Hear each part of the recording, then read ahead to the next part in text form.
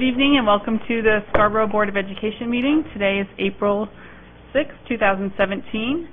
Um, May I have attendance, please?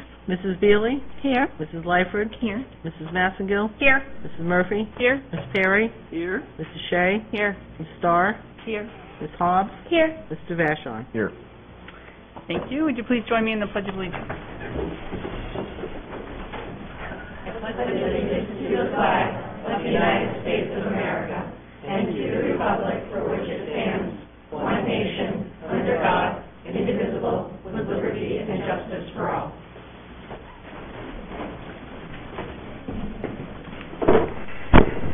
So that, ooh, that that takes us right to item 4.0, adjustments to the agenda.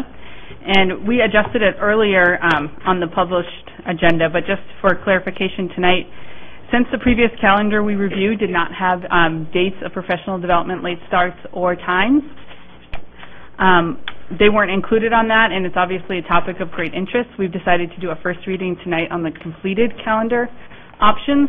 So we'll have a first reading tonight, and then um, we assume a second reading April 27th at our next regular board meeting.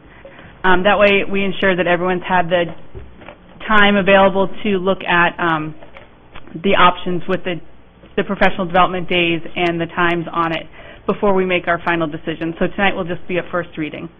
And that was an adjustment, like I said, um, the agenda you're picking up tonight already reflects that. Are there any other adjustments to the agenda? Uh, There are none. Okay. And I will just tell you, since we have a big crowd, our agendas can be deceiving.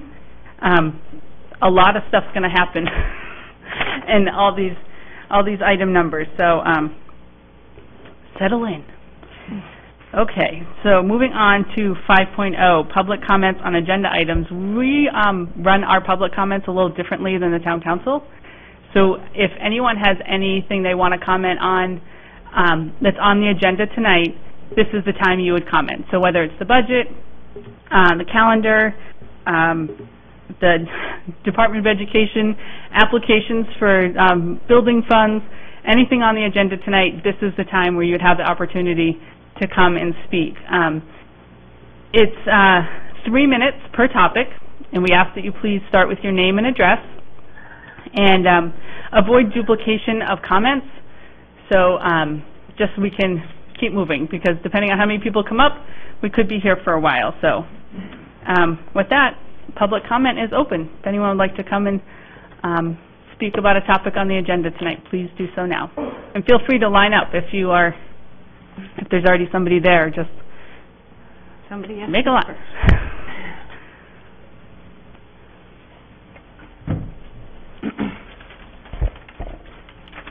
Hi, my name is Helen Griffin. I live at 15 Jamico Mill Road, Scarborough, Maine. And I am against the new proposed start time for the high school students mostly, because that's what I have. I have a lot of people that I know that are against it as well. They're not here. I'm not going to speak to them. So my, my concern is going to be very personal, what I'm going to read off to you. My concern is how this change is going to negatively affect my daughter, who's in the college um, process right now. She's a junior. Next year, she'll be a senior. So just one more year. That's all I care about. But I'm sure there's lots of people that care about more than that. Um, concerns are relating to scholarship opportunities for my daughter, because the cost of attendance of going to college is a lot of money.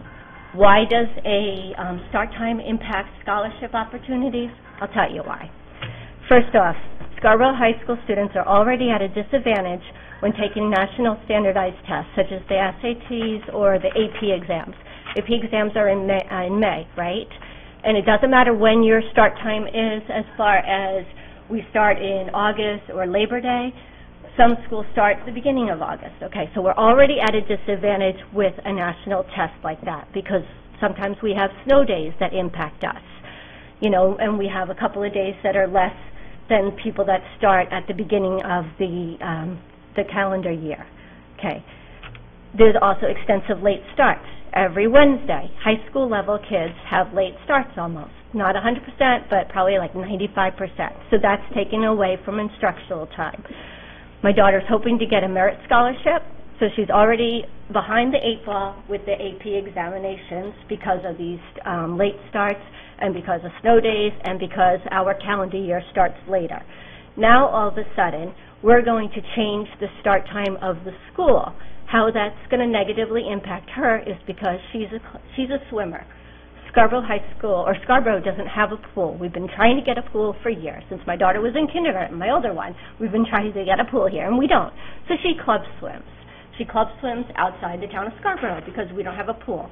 They do not care what one Scarborough kid is going to do as far as their schools to ours, right? They care about the majority of the population in the place where the school is held. So, um, my daughter swims at a club that has practices right after school. You change the start time, she's not going to be able to swim, miss practice, or she's going to have to drop classes so she can go to class, go to club practice. By missing classes, she's taking off of instructional time, and that's going to negatively affect her in the college application process. She's already being looked at by several colleges um, for her academics, but for her swimming. She's um, talking to coaches right now, and if she misses her, if she misses practice, her times are going to go down, and the people are going to be looking at her and saying, "We're not interested in you because you're, you're no longer a competitive athlete." So that's how it's going to negatively affect us.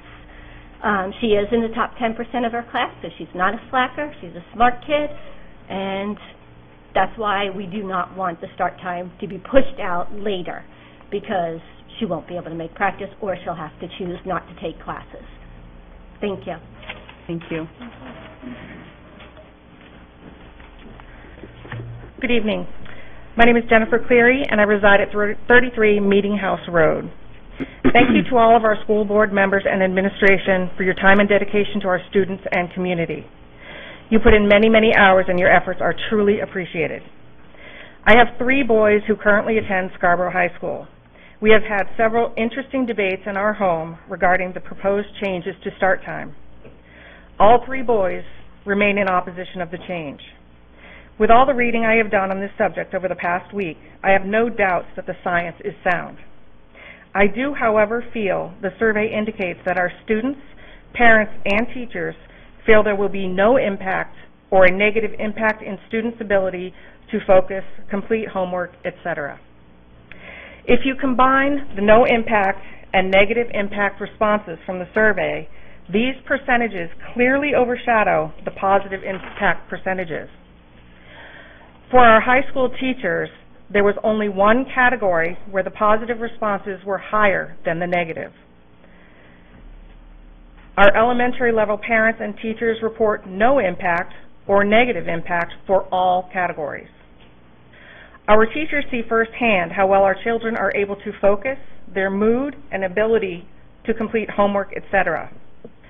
Science can indicate the best time for adolescents to go to sleep and the amount of sleep they need, but science cannot ensure this is what will take place. The mentality and nature of a teenage person plays a role, and this cannot be measured. To use the, the words of a community better, member, I want better. If we accept the science and feel this is a critical change to make for our students, the solution should absolutely be what is best for each phase level. We should be aligning with the science and biology to set our start, start times as close to or on spot with the recommended times. I believe there are now three proposals on the table for next year's start times. I believe this happened yesterday or today. Thank you for providing these options. In my opinion, option two may not get us to the ideal start time based on science, but has far less negative connotations than the other option three.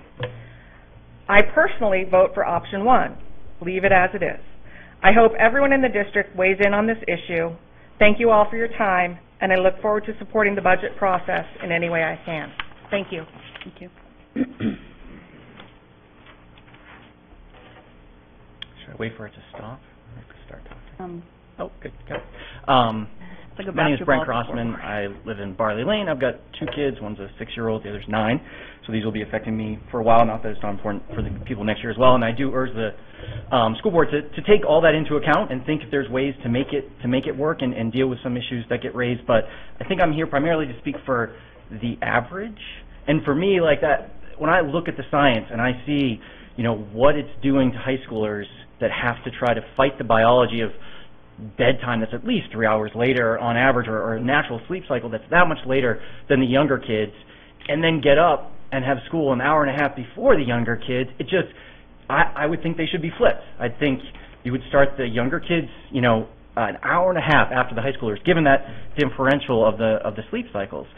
But I also understand, you know, if I if I look at it that way and I think, okay, well that's um, you know, the high schoolers starting at 9:30, and I read comments and see what everyone says about how much that minimizes their ability to do things after school. Well, you, you try to compromise, right? You bring that in to uh, to nine o'clock, or you or if you say, well, geez, you want that at nine o'clock, but now we we don't want the the little ones getting up at 7:30 for various reasons. Well, you, you see if you can squish that, and, and I, I think the school board's done a great job of doing that and finding ways to balance all those competing demands and the science. I mean, the science says older kids are going to have a sleep cycle that's later than younger kids by at least three hours. It's actually three hours later than adults, but much later than younger kids. And so they do need a little bit less sleep. I think the um, American Academy of Pediatrics recommends uh, nine hours for the older kids and ten and a half on average for six-year-olds. So there's that difference we make up there, but it doesn't make up for the sleep cycle. So you still end up with this issue of I think, in order to give them the best chance, and the, I do think the science has shown that when you push off those sleeps, uh, the, the start times, not only does it have positive effects in their grades, in their you know mental health, that they are taking advantage of it. I think it was twice as many kids were getting the necessary sleep when you push them off in the studies that were done in Minnesota and Colorado.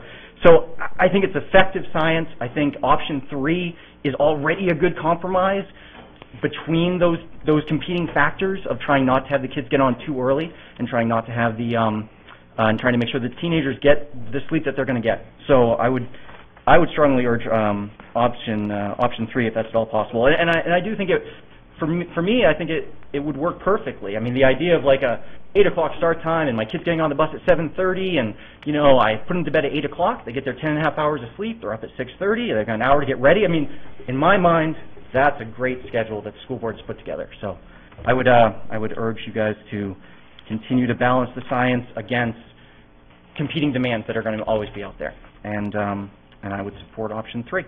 Thank you.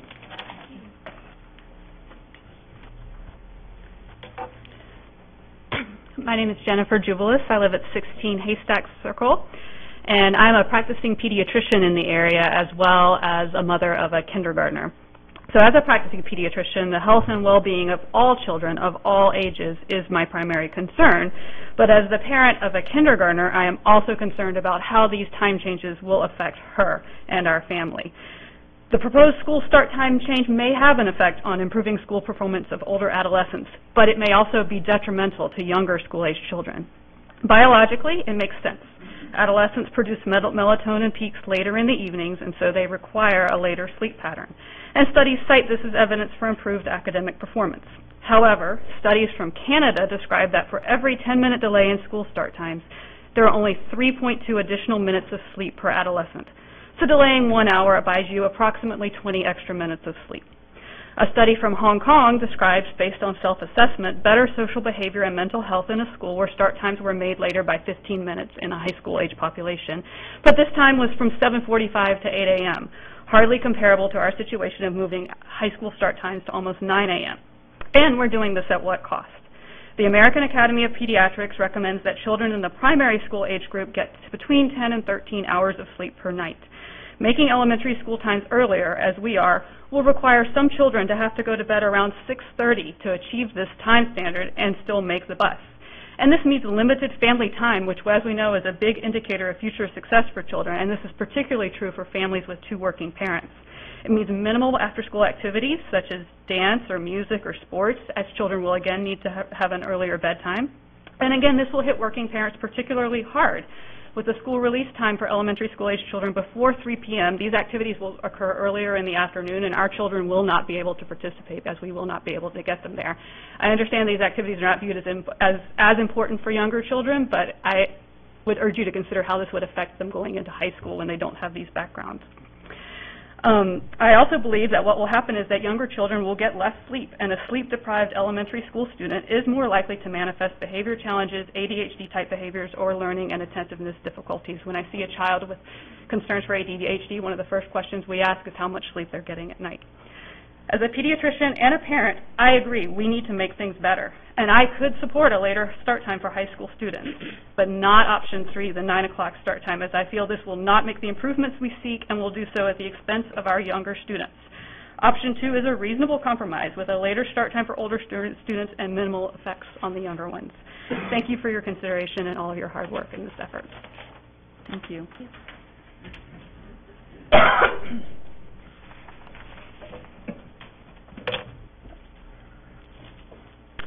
Good evening, board members, Superintendent Cooper, and community members. My name is Sarah Bailey. I reside at 7 Summerfield Lane. I'm the mother of a first grader at Pleasant Hill and a preschooler who will be entering kindergarten in 2018. I stand before you tonight opposed to the option three start time for Scarborough schools. I feel that the proposed times were made in haste and on the coattails of other districts. While I appreciate that there are now two additional proposed options, the decision about the start times should address the needs of everyone, students, teachers, bus drivers, and especially parents. Option three does not do this. However, a late start, excuse me, although a late start time is supported by academic research, the reality is that high school students will still not get the recommended amount of sleep. They will continue to have longer days, trying to fit in homework with after-school activities, practices that will run longer, games that will require students to have to leave instructional time in order to get somewhere, and missed vital family time. Those students who rely on after-school jobs or are responsible for younger siblings will leave parents and the community having to look elsewhere. Now, please keep in mind that I have mostly addressed high school students, because the reality is this is where your supported research focused on.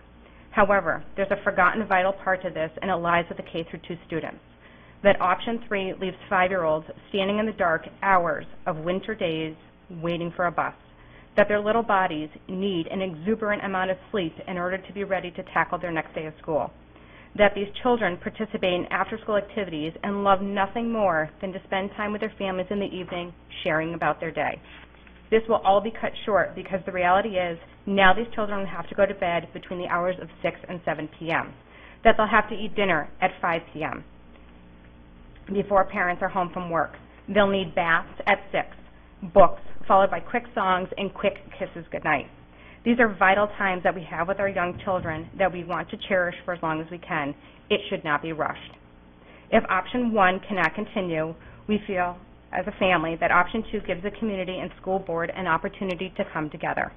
This compromise is a smaller change and will demonstrate how changing the schedule affects everyone.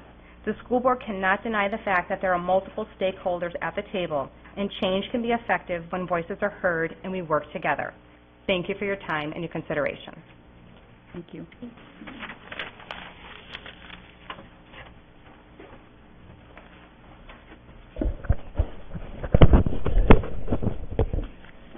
My name is Sophie Kelly and I live at 3 Sandy Point Road.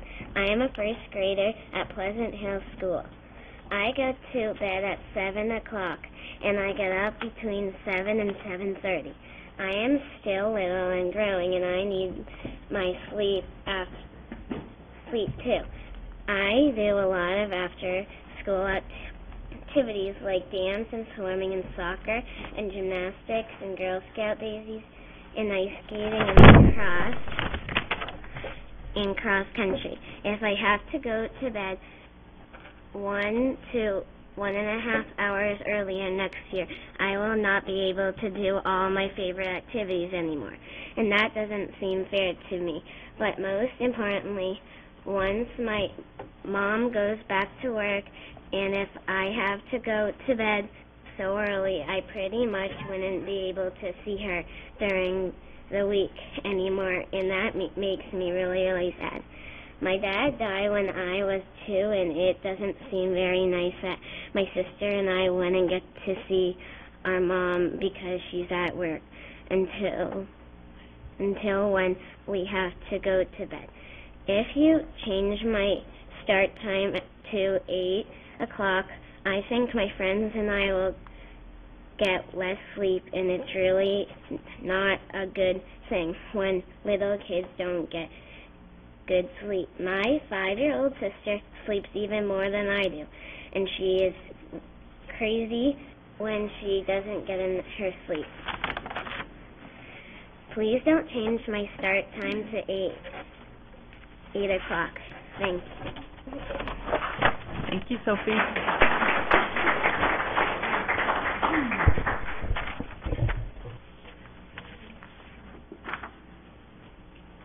Good evening. My name is Julie Bassett, and I also live at San- 3 Sandy Point Road in Scarborough. I've lived here for 12 years. I have seven and five-year-old children. I'm a single parent. Switching K2 to an 8 a.m. start time would be a huge hardship for my little family. My children already go to bed at 7 and sleep 12 to 13 and a half hours each night. To have to put them to bed at 5.30 or 6 next year so that they may keep getting the same amount of adequate sleep seems very far-fetched and would basically prevent them from having to rely, being able to continue with their after-school activities most of which rely on parent coaches and volunteers who are only getting out of work at the time my children would now need to be in bed. I believe, believe these activities, such as sports and Girl Scouts, are vitally important to their well-being. Even more importantly, it would also make it really hard for a lot of K to 2 age children to see their working parents during the school week, and that just doesn't seem right. It's my belief that exchanging one group's sleep challenges for another's does not make any sense at all. A recent study out of Kentucky suggested that delaying middle school and high school start times at the expense of making elementary school start, times earlier might be a bad idea. Their findings suggested that these policy changes may simply be shifting the problem from adolescents to younger children instead of eliminating it altogether. In my eyes, it's simply common sense that each group of students in Scarborough deserves their sufficient sleep. As such, I strongly urge the board to consider option one or option two as a compromise that includes smaller start time changes as a starting point and then to reassess at a future date. I am of the hope that once the bus audit results are in, some additional positive tweaks may be made to the start changes as well. Please don't make a change that hurts families like mine. Thank you. Thank you.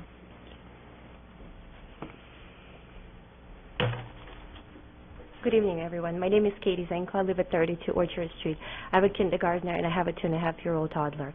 Um, thank you very much for all the options you've put together. I think you've done a wonderful job. Um, and I want to start with the goal that you set out in the document that was sent out, and that is to keep the success and well-being of all students at the forefront. So let's just concentrate on all.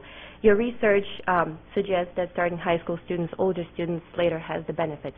And probably nobody can deny that. But there is very little or no research that suggests that starting little kids earlier has benefits.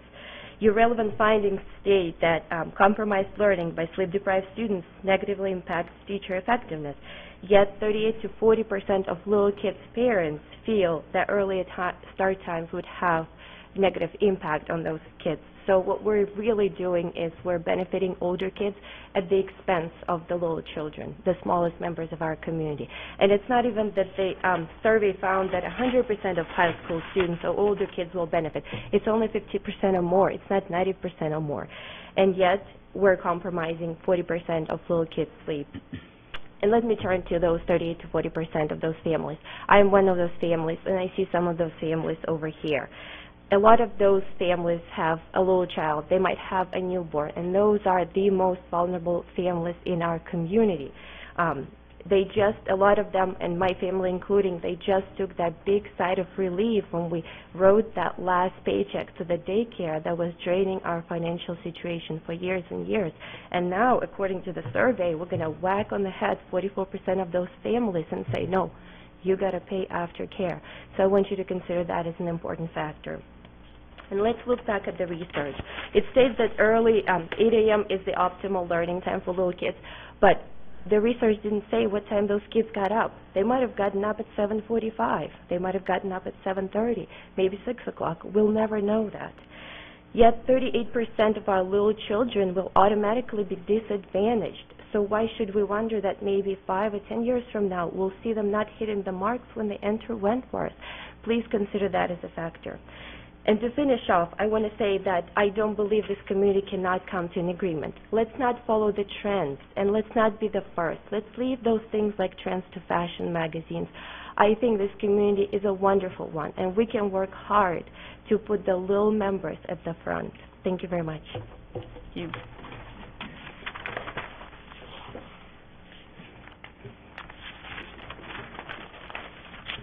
Good evening.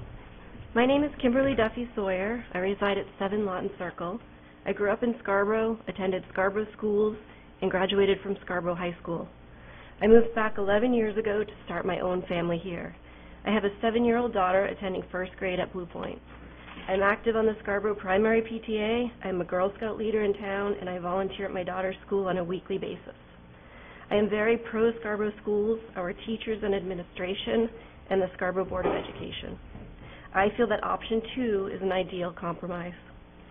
The studies provided by the Centers for Disease Control, as well as the American Academy of Pediatrics that the board references in their endorsement of later start times for high school students, also recommend 10 to 13 hours of sleep for our four and five-year-old kindergartners and first graders, as well as 9 to 12 hours of sleep for our 6 to 12-year-old students. We cannot reference these recommendations as a basis for later start times for our high school students and then dismiss them for our primary school students. Comments that most children in the 6 to 12 age range are going to need less than 12 hours of sleep are the equivalent of my stating that most high school students do not need to stay up until 11 or 12 p.m., that a 9 or 10 p.m. bedtime is fine for them. My seven-year-old is in bed by 8 p.m. I have to wake her at 7.45 to be at the bus on time. On weekends, she will sleep until 8.30. If primary school start times are moved forward to 8 a.m., with buses starting at 7 a.m., these children will need to be in bed between 5.15 and 6.15 to achieve the amount of sleep they require. This is simply not realistic. Health research shows that our high school students would benefit from a later start time, and I am in favor of that. I support what is best for all of our students. I cannot, however, support this change for the high school by sacrificing the health of our youngest students. In order to implement this change for the high school, I feel the Board of Education and our school department must be tasked with finding a solution that benefits all students. I feel that in option two, they have done so. Thank you. Thank you.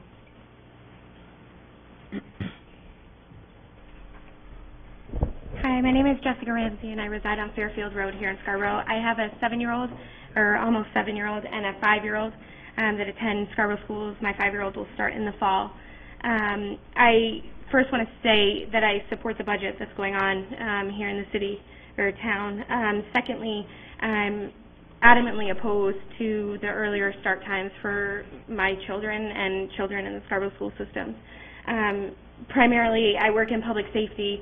My schedule um, is not a great schedule, and I know that I already limit the time with my children to serve others, um, and that's a choice I made. Um, but I also don't want to come home at 5 o'clock at night and have to turn around and put my child right to bed. I enjoy spending time reading and singing with them. Um, I also enjoy um, raising them, and I don't want to put my children in daycare every day on the days that um, I can avoid it. Um, part of waking them up in the morning um, is not nice. It's not pleasant for me. I don't enjoy having to struggle to get them dressed and get them out the door for 9 o'clock already. I cannot imagine an earlier start time for my children.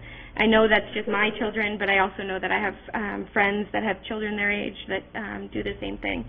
Um, I also feel that um, it limits um, their after-school activities. Um, it also limits my ability to get babysitters if you have the high schoolers starting later and getting out later. I rely heavily on high school students, um, and that it will definitely affect that. Um, this is my daughter McKinley. Do you want to start school earlier? You do? you want to wake up early? No, she doesn't. So I, I know that it affects her when I wake her up early to get her to daycare before school, um, and she has a miserable day, and I can't imagine putting that burden on the teachers of Scarborough. Um, I think she needs her sleep and deserves the 12, 13, almost 14 hours of sleep she gets a night now by putting her to bed at 7 o'clock. So I, um, if option one isn't an option, I would say option two is a good compromise. Thank you. Thank you.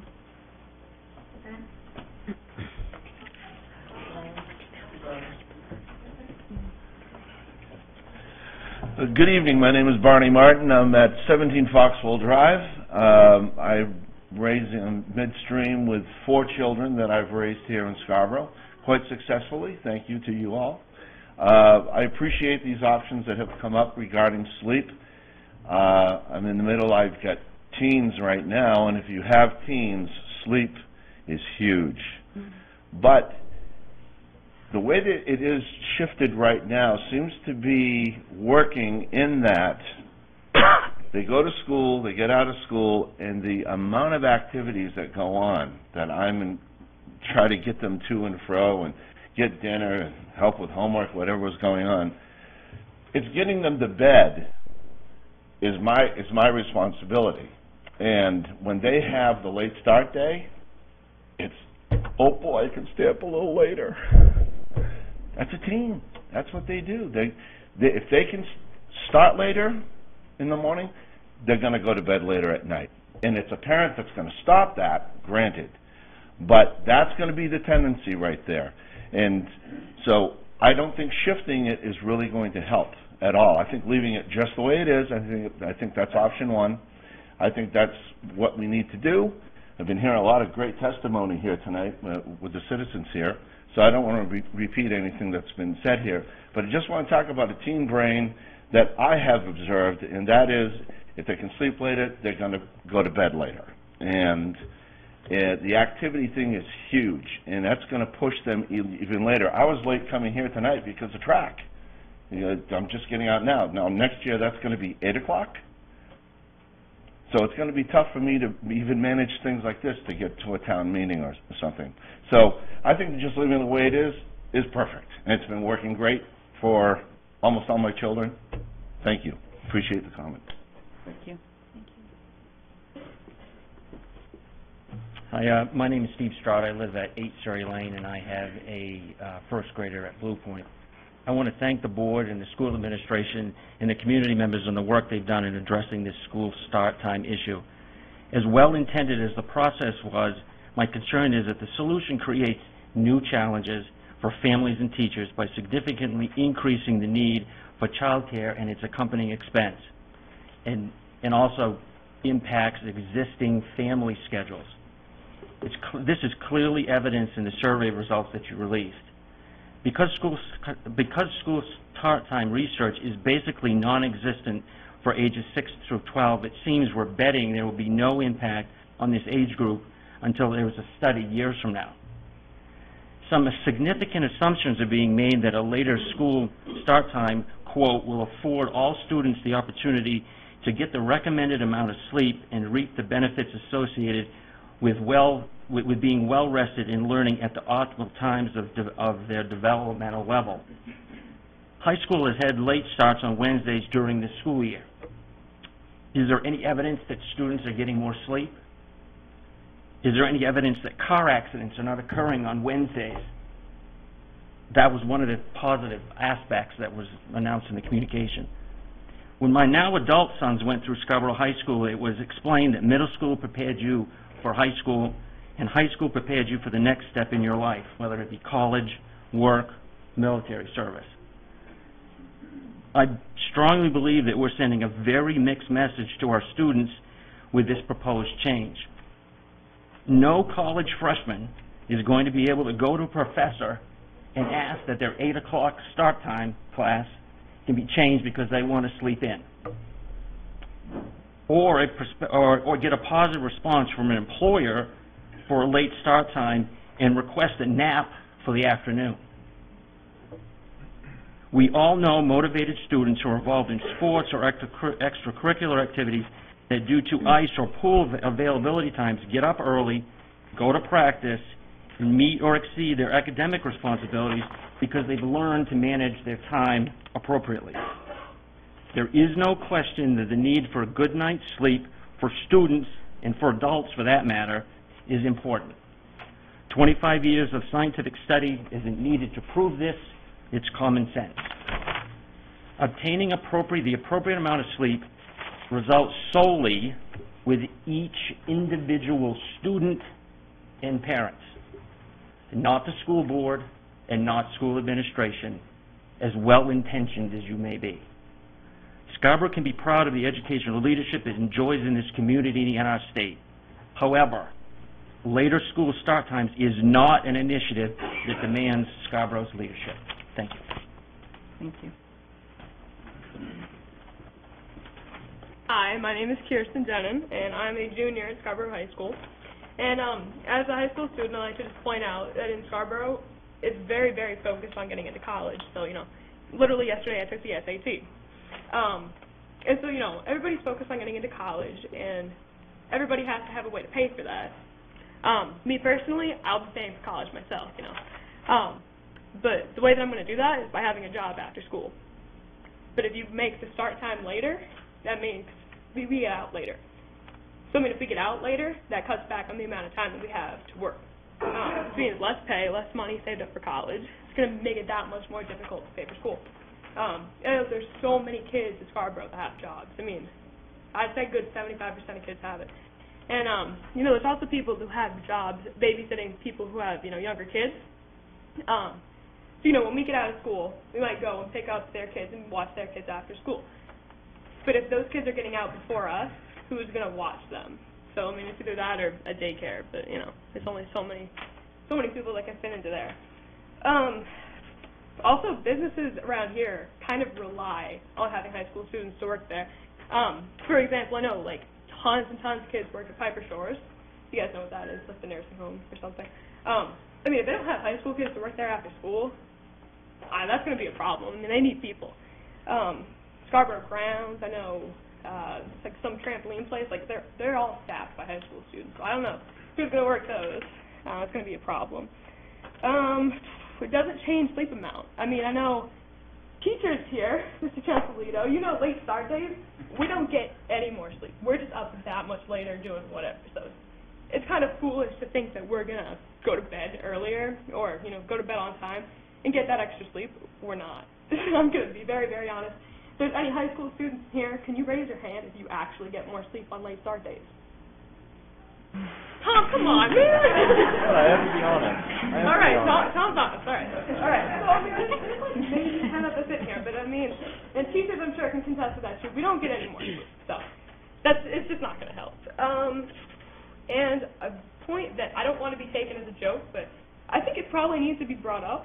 The more time you give kids in the morning, the more times they have to get high and go to school. Like that sounds like a joke, but I actually have teachers who have said that that, that could be an issue. Um, you know, the more time you give them in the morning, the more high kids you're going to have coming into school, school basically. So that should be interesting. See where that goes. Um, that one more thing about sports. I do sports, you know, all three seasons, all year round.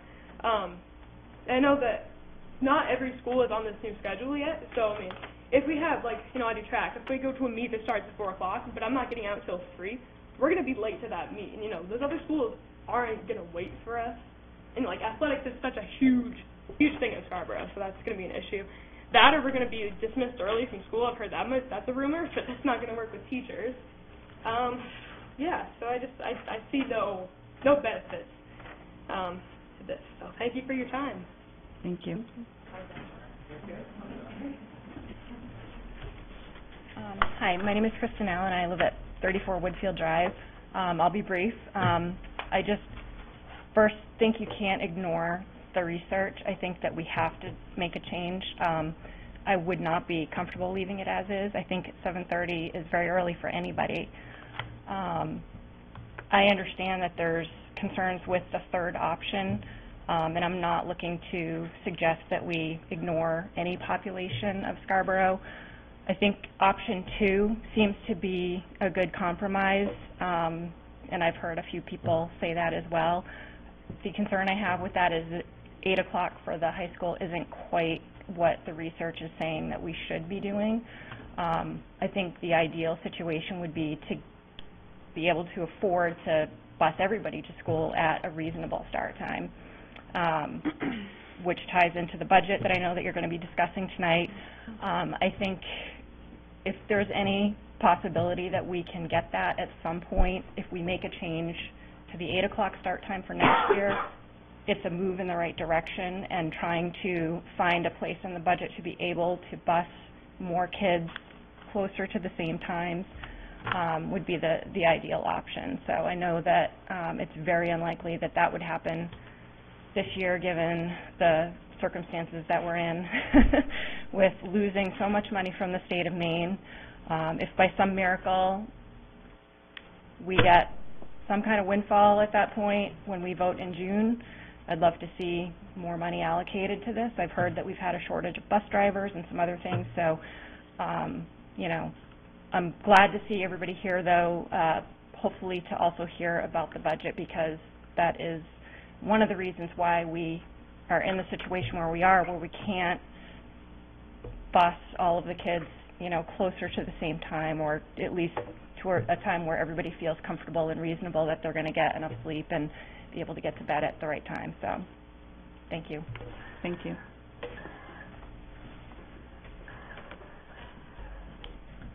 Hi, my name is Mike Clisham.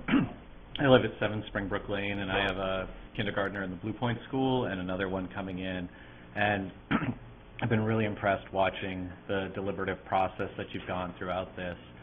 And I see potential benefits in helping, in option three, helping the elementary students transition to a school environment and be prepared and avoiding undue disruption in their day. Um, right now, our kid, our daughter, um, is up at six. She goes to a before care facility where she's picked up by the bus. She's at Blue Point, and she's back. And so there's a lot of focus on getting ready in the morning, getting out the door, getting to before care, having what we need, coming back.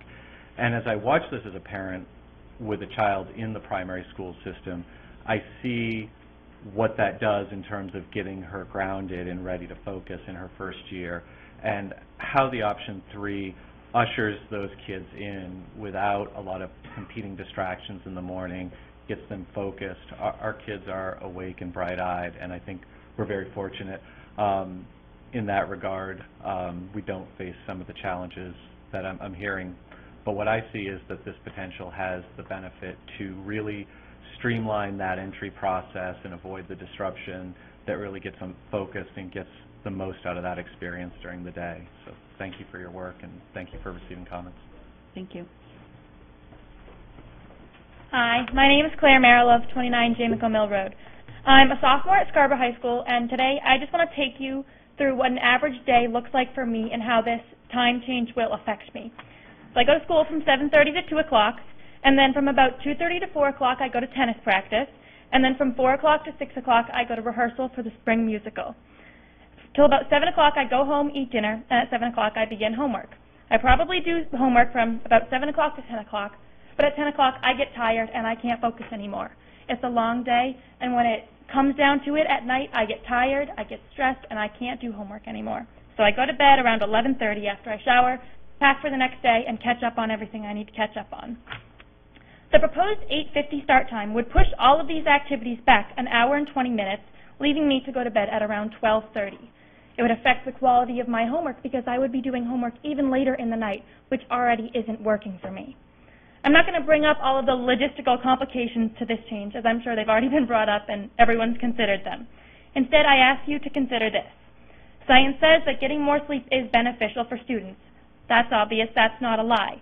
Of course, more sleep will have a positive impact on test scores, on the general health of the community, and on academic lives. However, as one student of Scarborough High School, speaking on behalf of many of my peers, this schedule change will not increase the amount of sleep I get each night. It only pushes my schedule off. My body will adjust and my sleep cycle will be pushed back an hour and 20 minutes. There's no change. This change negatively impacts many of my extracurricular activities. As president of the sophomore class and a member of many clubs such as chorus, natural helpers, and the theater team, I, if I do not get out of school until 3.15, I'll have no choice but to back out of some, some of these activities. There's simply not enough time in the day to do everything I want to do. The possibility of feeling better rested in the morning is not strong enough to outweigh all of these complications. With that, I ask you to look beyond what the statistics are saying and listen to the complaints and concerns that the students of Scarborough High School are feeling and how it's going to affect us. Thank you. Thank you.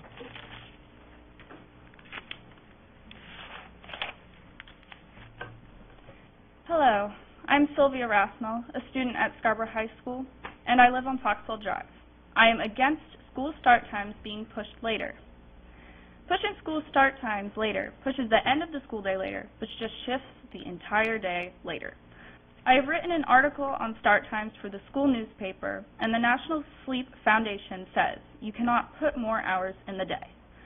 Students will be going to bed later due to after school activities running later, giving students the same amount of sleep as without the time change. So the argument that shifting start times later will allow high schoolers to get more sleep is null. Please, keep school start times the way they are. Thank you. Thank you. My name is April Seither. I live at 14 Huntley Drive. I have a first grader at Blue Point. I will have a kindergartner at Blue Point next year. I have a two and a half year old, and I also have a baby on the way. Um, so I am a Scarborough graduate. My husband is a Scarborough graduate. Our history with the town is long, and our future is equally as long. Um, I won't. I'll respect everyone's uh, time, and I won't say anything redundant. But one thing I did want to point out was the high school is proposing a lot of changes. Uh, block scheduling, I know, is on the docket, as well as moving to proficiency-based diplomas. And I feel changing the start time for the high schoolers, in addition to making those other changes, is stacking a lot on a lot on a lot. And I'm curious as to what the metrics are going to be for measuring the success of changing school start time when you're also making so many other changes. Um, I feel like option two, if uh, is a good compromise for my family and my specific situation, um, and I appreciate your time. Thank you.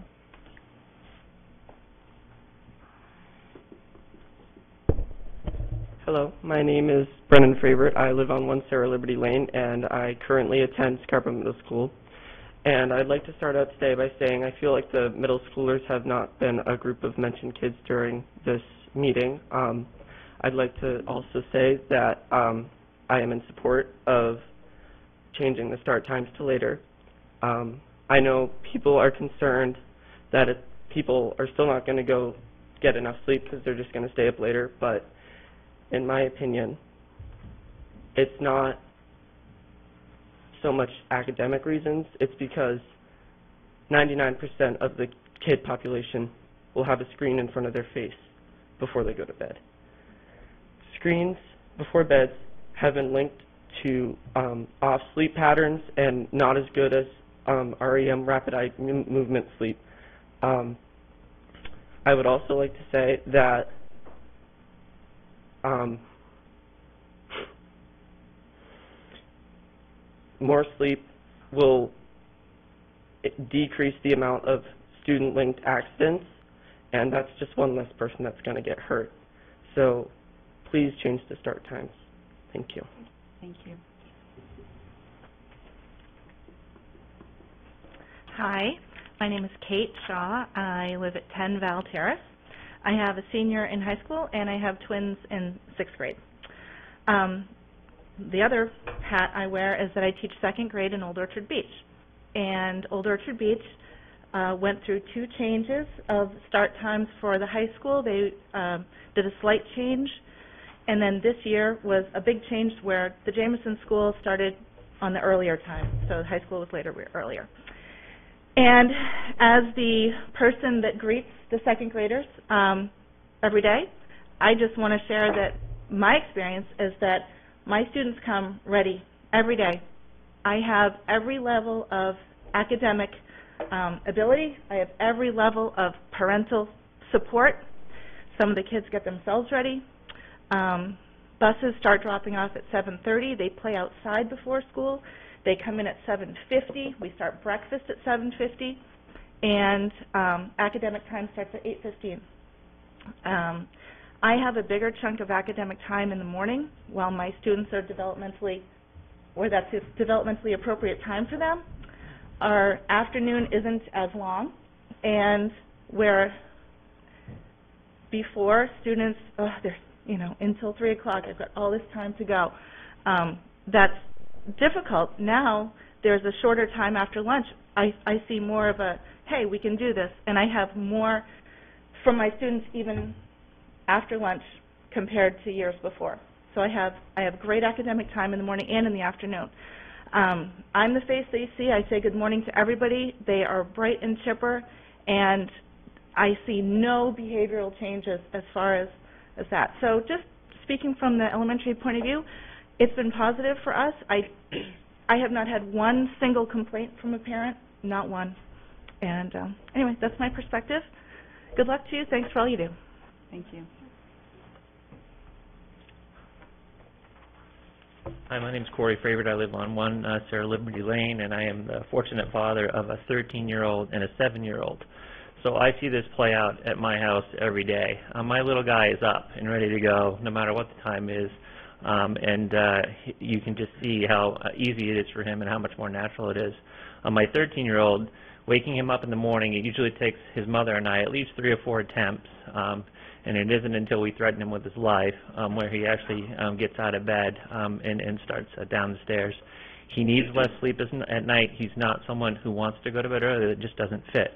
And as far as the science go, goes, it's not about how much sleep you get. It's about it's about when you get that sleep. So I would just encourage those folks that are, um, you know, hung up on the number of hours. It isn't so much about that. It's about when you you sleep your best or when you sleep your, your deepest.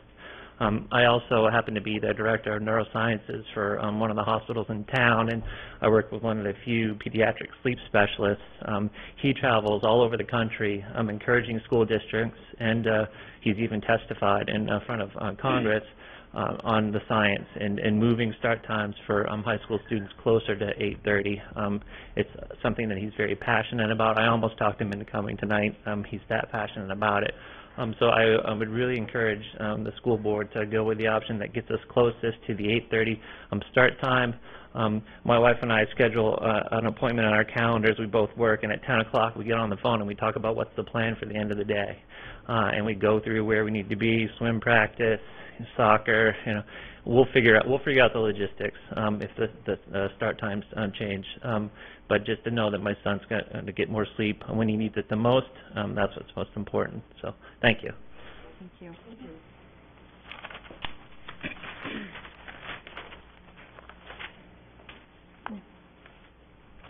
All right.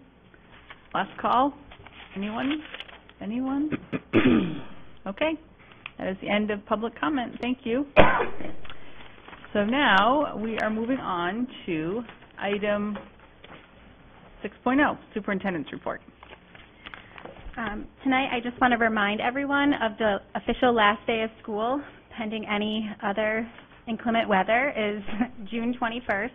Um, So that is our official last day, given that we've had six snow days so far. I just want to make sure that we keep updating everyone and reminding folks of that date. Um, And then also, uh, during the first meeting of every month, I always give an enrollment update.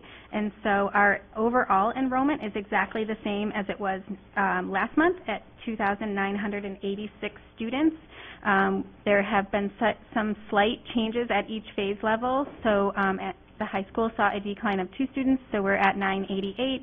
Um, The middle school is exactly the same with a 718 students. We have three less students at Wentworth, so the uh, overall enrollment is 675. We've had three new students join us at Blue Point, so we're at 199 students. Eight Corners has one new student, um, but I think they have another new student today, 231. And we have one new student at Pleasant Hill, so we have 175 students at Pleasant Hill. And again, the overall enrollment is 2,986 students in the Scarborough Public Schools. And that concludes my superintendent's report. Hmm, Thank you. Okay, so 7.0, the Chair's Report. I'll keep mine very brief. Um, Anything I would have to report ends up in a different committee report anyway, but I do want to take a minute to um, thank the members of the school board's families for giving up their families for the next several weeks. Um, We were at a town council meeting last night. We've already been in a meeting for five hours today before we got here at seven. And the list for the rest of the month doesn't look much different. We all said goodbye to our kids at seven this morning and won't see them again until tomorrow. Um, I'm sure they're not watching because it's a brief respite from having to talk about all of the stuff. So um, thank your families when you go home because it's a big deal. And that's the end of my report. um, committee reports.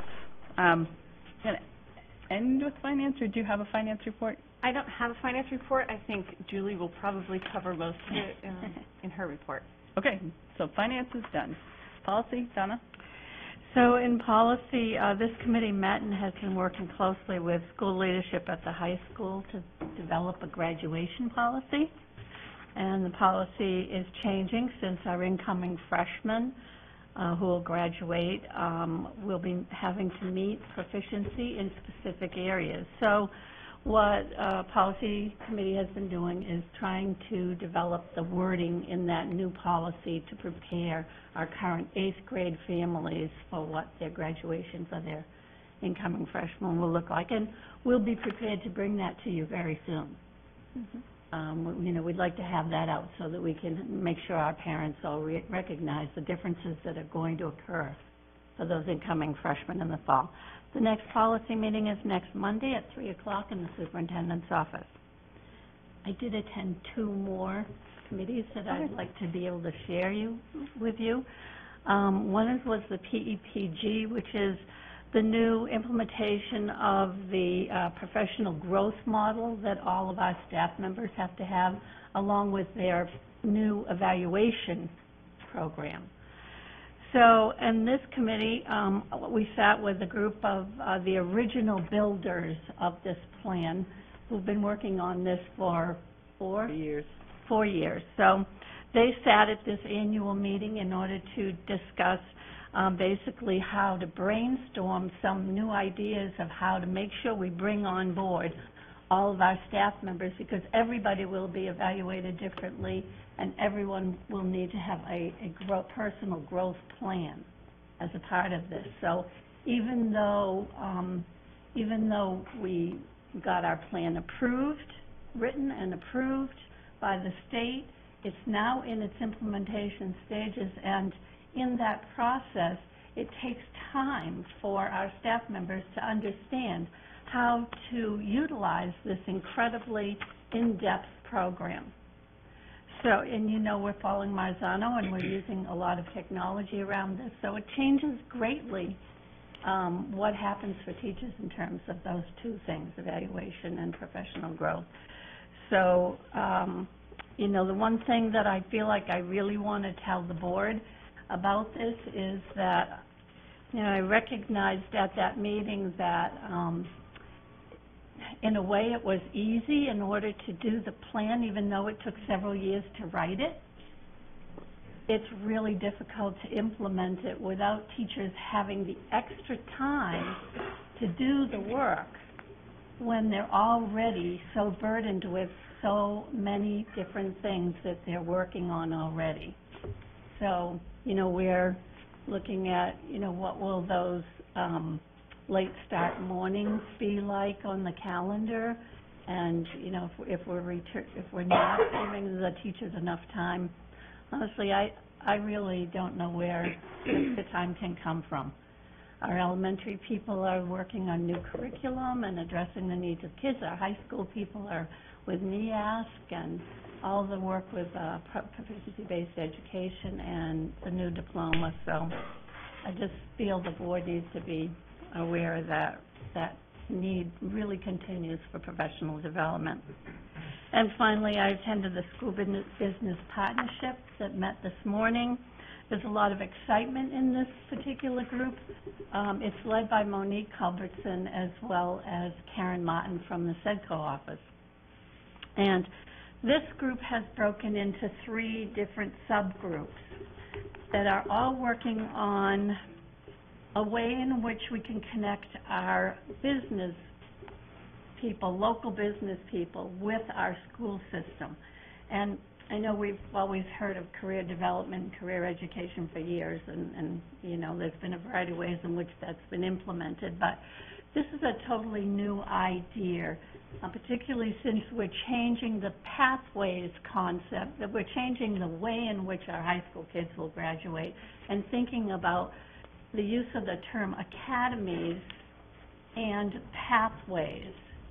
And um, I think, you know, the real excitement here is that businesses in town seem to be really supportive of um, the concept of adding, as you've seen in the budget, the position of um, what used to be called the volunteer coordinator, but is really evolved into um, a partnership position that is currently in the budget that will be a key piece of what could happen for our high school kids if this, if this were to fail in the, in the budget for this coming fall. It would be really unfortunate because I think Um, there's tremendous support from our businesses as to what might be possible for our high school kids in working with them. And that position is not one that can be done by somebody who's just volunteering to do it.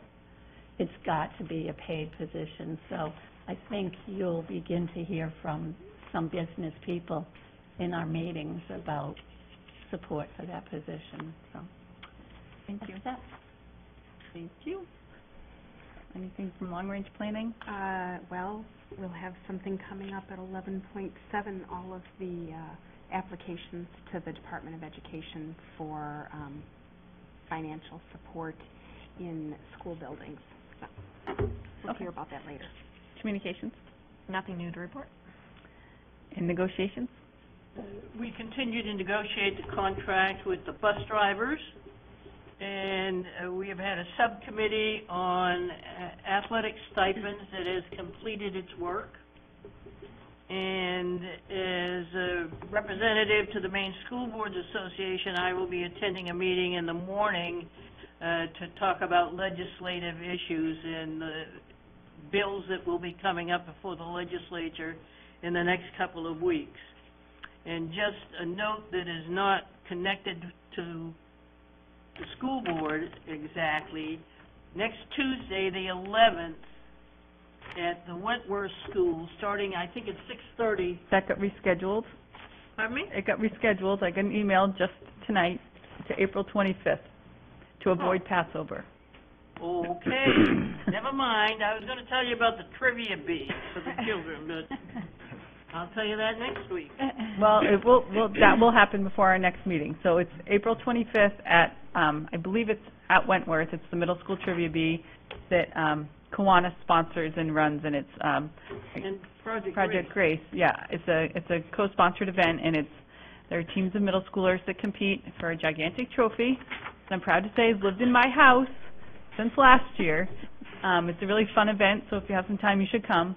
But it's rescheduled. Um, it's very breaking news, April 25th at the same time. Thank you. You're welcome. Okay, so that takes us to 9.0, student representative reports. Do you want to go first? Uh, you can go first. Okay, I'll go first. So, just gonna make sure that you all know that the middle school third annual junior trivia bee is on April 25th because that's the first thing I had written down. Um, and then also from the middle school, the Ultra Readathon um, is going on from March 31st to April 7th, which Saturday? Yeah, Saturday. Oh, tomorrow, Friday. Ooh, wow. Um, and that raises money for field trips and for their team activities at the middle school. And I've heard that that's going pretty well. Um, at the high school, the juniors took their SATs yesterday. Um, I'm sorry, all the juniors who had to take SATs yesterday. Those are rough. um, and then the freshman class, sophomore class, and the senior class um, viewed the movie The In, which we talked about at a uh, prior school board meeting um, with the RSVP program and the Maine Boys to Men program. Um, and it was all about um, examining masculinity um, kind of in our culture and how that ties into mental health and also um, into domestic violence in our society. And then after that, um, the high school advisories uh, were split into groups of two or three advisory groups. Um, and they had activities kind of examining different stereotypes that we see in our culture um, and what we can do to kind of uh, go against those stereotypes and make it a more inclusive community for everyone. Um, and that went really well. I had a lot of people who said that they were kind of like, oh, why do we have to do this? And by the end of it, they were like, wow, that was really powerful and really important. And I'm glad that I was here to see that. So that was very successful. Um, tomorrow, April 7th, the Scarborough Athletic Council is holding a comedy night um, as a fundraiser, so you could come and support that. I could not find the time on the website. There's a flyer on the website, so if you're interested in that, you can go check that out on the Scarborough High School website. I believe it was seven PM. 7 p.m. Um, last week, a group of six Scarborough High School students attended the Maine Youth Action Network Summit in Bangor, which was a two-day summit that I was lucky enough to get to attend. Um, and students learned about topics that ranged from mental health to the Maine youth court system, um, to intersectionality and kind of examining that in our society. Um, at the summit, Ev Norsworthy, who is an SHS senior, presented on the topic of mental health in the LGBT community. Um, and Ev was also presented with the Maine Youth Action Network Independent Catalyst for Change Award for their work with GLSEN and for advocating for Maine students, which was really impressive, and we were all very excited. there were a lot of tears. Um, and last night, last night, there was a jazz night at the high school that was our jazz chorus and the jazz band. Um, that went really well, and it was very impressive. And so that was great, and everyone did a great job, and that's all I have. Thank you. Um, so, uh, regarding Wentworth, um, the Community Garden annual bulb and flower sale is happening now between April 3rd and April 13th. Um, that was uh, started uh, because of the Wentworth Community Garden, and so because of that, they're going to distribute bulbs to people who want them for their own garden. Um, and uh, Wentworth will also be hosting a STEAM fair, which promotes uh, science and math and engineering, all those kinds of STEM aspects, so allow for more people to enter those fields. And uh, the Jim Dandies will be having their community performance on April 8th. There will be juggling, unicycles, globe trotting, unihockey, all the stuff that I used to do when I was part of that, but stopped doing it. Um, so th- that's going to be fun. Um, in terms of the times for that, that should be on the website. I don't have them off the top of my head, but there should be two shows. Two thirty. Two thirty. Two thirty, yeah. Six thirty. Six thirty, yeah. We're a team. We are a team. We can all. Uh, uh, now, if I was still doing Jim Dandies, I would remember that. um, and uh, in terms of just another thing regarding the high school, so academic decathlon, I'd just like to bring up is going to the national tournament um, in Wisconsin, Madison, Wisconsin, and that will be between uh, April 20th and April 24th. Um, as a member of the academic decathlon team, I'd just like to bring up that we are looking to help with funding. Um, shameless plug, um, but for anyone who can, you know, contribute uh, on uh, youcaring.com, if you type in um, uh, Maine Academic Decathlon, uh, you will be able to find our site and contribute to that if you can. Thank you. Thank you for bringing that up, Thomas, because that was one of the things I meant to bring up. So it's you caring. Yes. Which is okay. You caring, Maine Academic Decathlon. Yep. Great. Thank you so much. And that takes us to 10.0 recognition. Um, so I would like to ask Mike LeGage to come up to the podium for our recognition tonight. Uh, recently, I was informed of uh, an award that was given to or awarded to our athletes. Um, it's an award that we're very proud of. Um, of course, everyone knows that our athletic department is quite successful and very robust.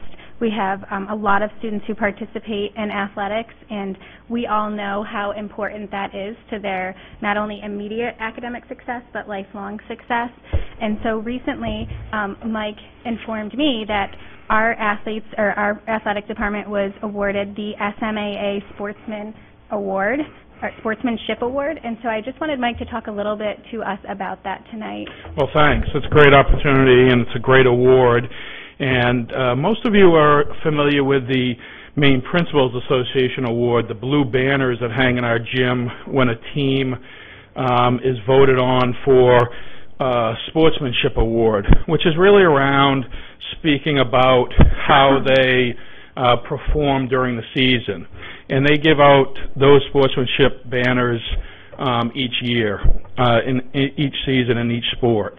That's voted on by athletic administrators as well as coaches. This award that was given to us is really um, from our league. It's voted on by student athletes and athletic administrators. Um, each year for the last 20 years, the SMAA has hosted a student athlete summit where each school brings 10 student leaders um, to a one-day workshop about leadership. And during that workshop time, those students vote on this sportsmanship award, as well as the athletic administrators. The award is really for the entire department, which makes it a little bit more unique than one of the MPA awards. Um, it's really saying that you're doing everything right as a department. You're really an exemplar, um, not only for our coaches and our kids, um, but how we run the p- department as well. So it's a great honor for Scarborough High School. It's a great honor for our department um, to be given this this recognition. Thank you. Thank Congratulations. Very impressive.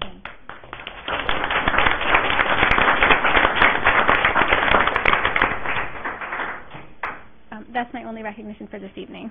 Great. That takes us to 11.0 to new business. Um, 11.1, summer 2018 high school Spain trip proposal. So I'm going to ask our trip coordinator to come up, Brianna Kelman, who's going to speak a bit about the high school um, trip that's coming up soon. Hi, everyone. I'm Brianna Kelman. I teach Spanish at the high school. I'm here to talk briefly about a trip to Spain that I'm hoping to plan for the summer of 2018. Um, we just did a trip this summer, and I'm hoping to do something very similar. We took 15 students from the high school to Spain. Um, we traveled all over. This particular one is to it's $3,400. Um, it's for students who have taken Spanish 3 and above, so for a minimum of three years of Spanish. We'll be going to Madrid, Barcelona, Sevilla, Granada, and Cordoba. Um, you have to have an 85 or above in the content area. And um, the cost does include everything, including um, round trip travel, breakfast, dinner, and all the entrances and fees to everything that we do. So it really is a good bang for your buck kind of trip. So I think it's a really great opportunity for our students in the language program. Um, having done it before, I think it's immensely valuable, and I'm really excited to do it again. And the proposed dates are It's in June. June, June it's, uh, 22nd to around July. the 22nd. We won't know until about 60 days beforehand. So. Great. Any any questions about Spain? Anyone? If you need a chaperone, let me know. Welcome to Joe. I've been on the list long. Mrs. Sizemore is first on the list, then By Mrs. Mr. Translator. You have an 85 or above, Yes. I right? do. Every- Okay. Okay, perfect. All right, thank you so much. Thank you so much, Brianna, for coming and telling us about the trip. That takes us to 11.2, the June 2019 and June 2020 High School Europe Trip Proposals.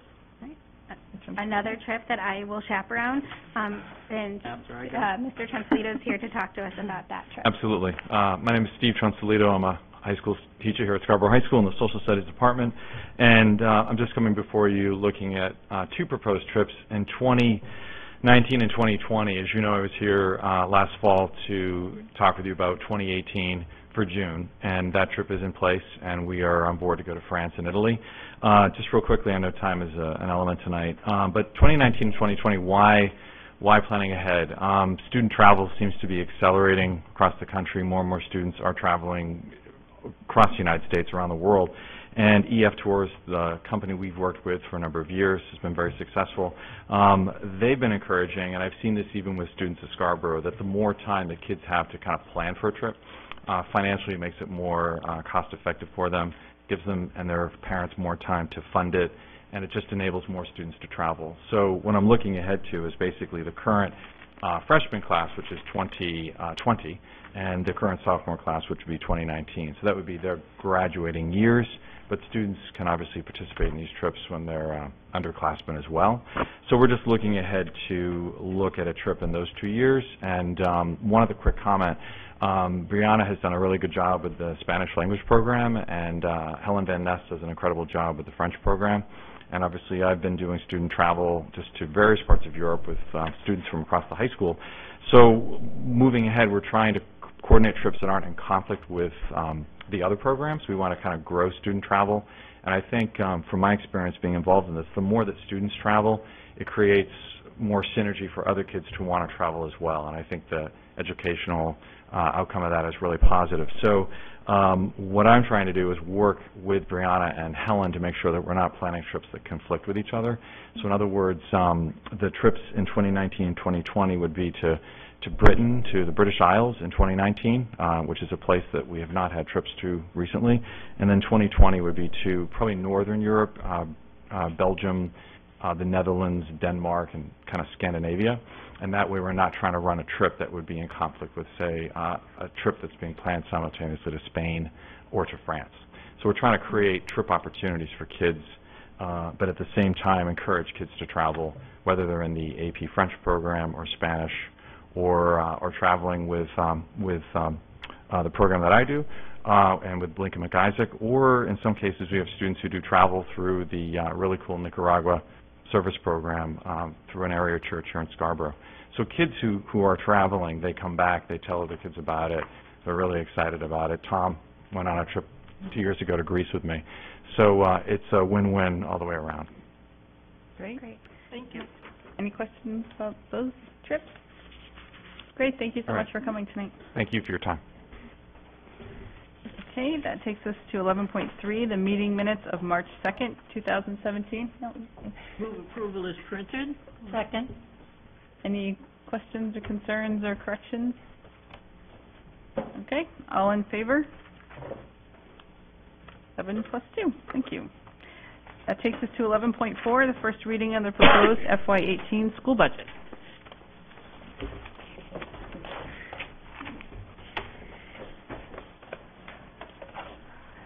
Did she say school budget? Mm-hmm.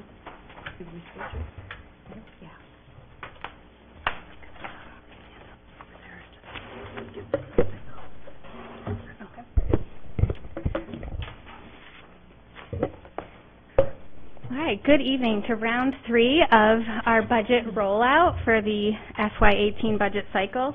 Um, just to bring the community up to speed, I'm Julie Kukenberger, the superintendent, and this is our amazing business manager, Kate Bolton. We're going to be co-presenting today. Um, and we have been talking budget for, I think, 24 hours straight now officially.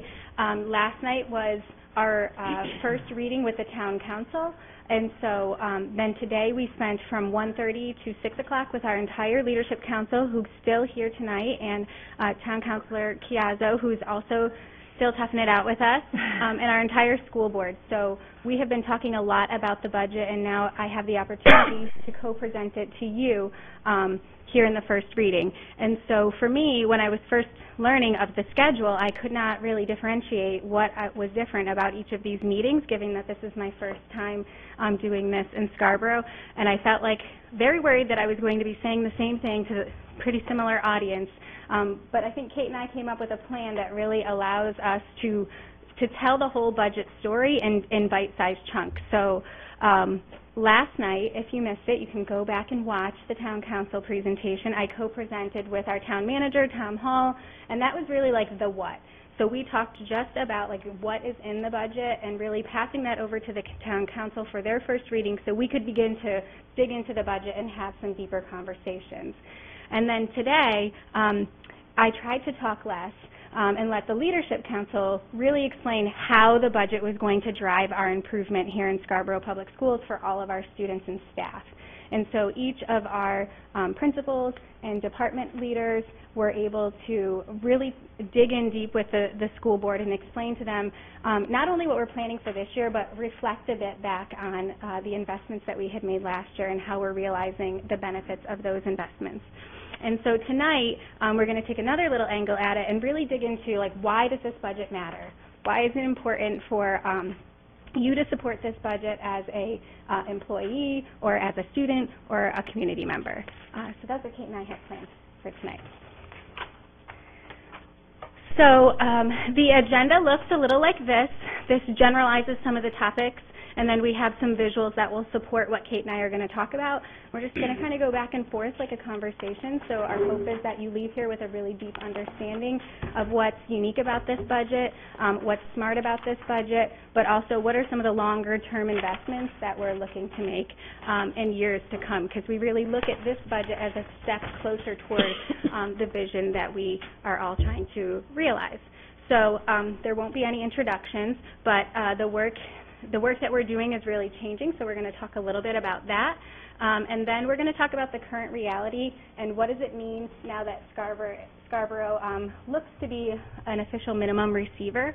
Um, we're going to then take a multi-year glance at what our school subsidy has looked like over time, our state subsidy over time, um, what is the valuation in Scarborough looks like over time, and then also the tax rate. We're going to have a little look at that so um, you can have sort of a long-range perspective as you're thinking about this budget.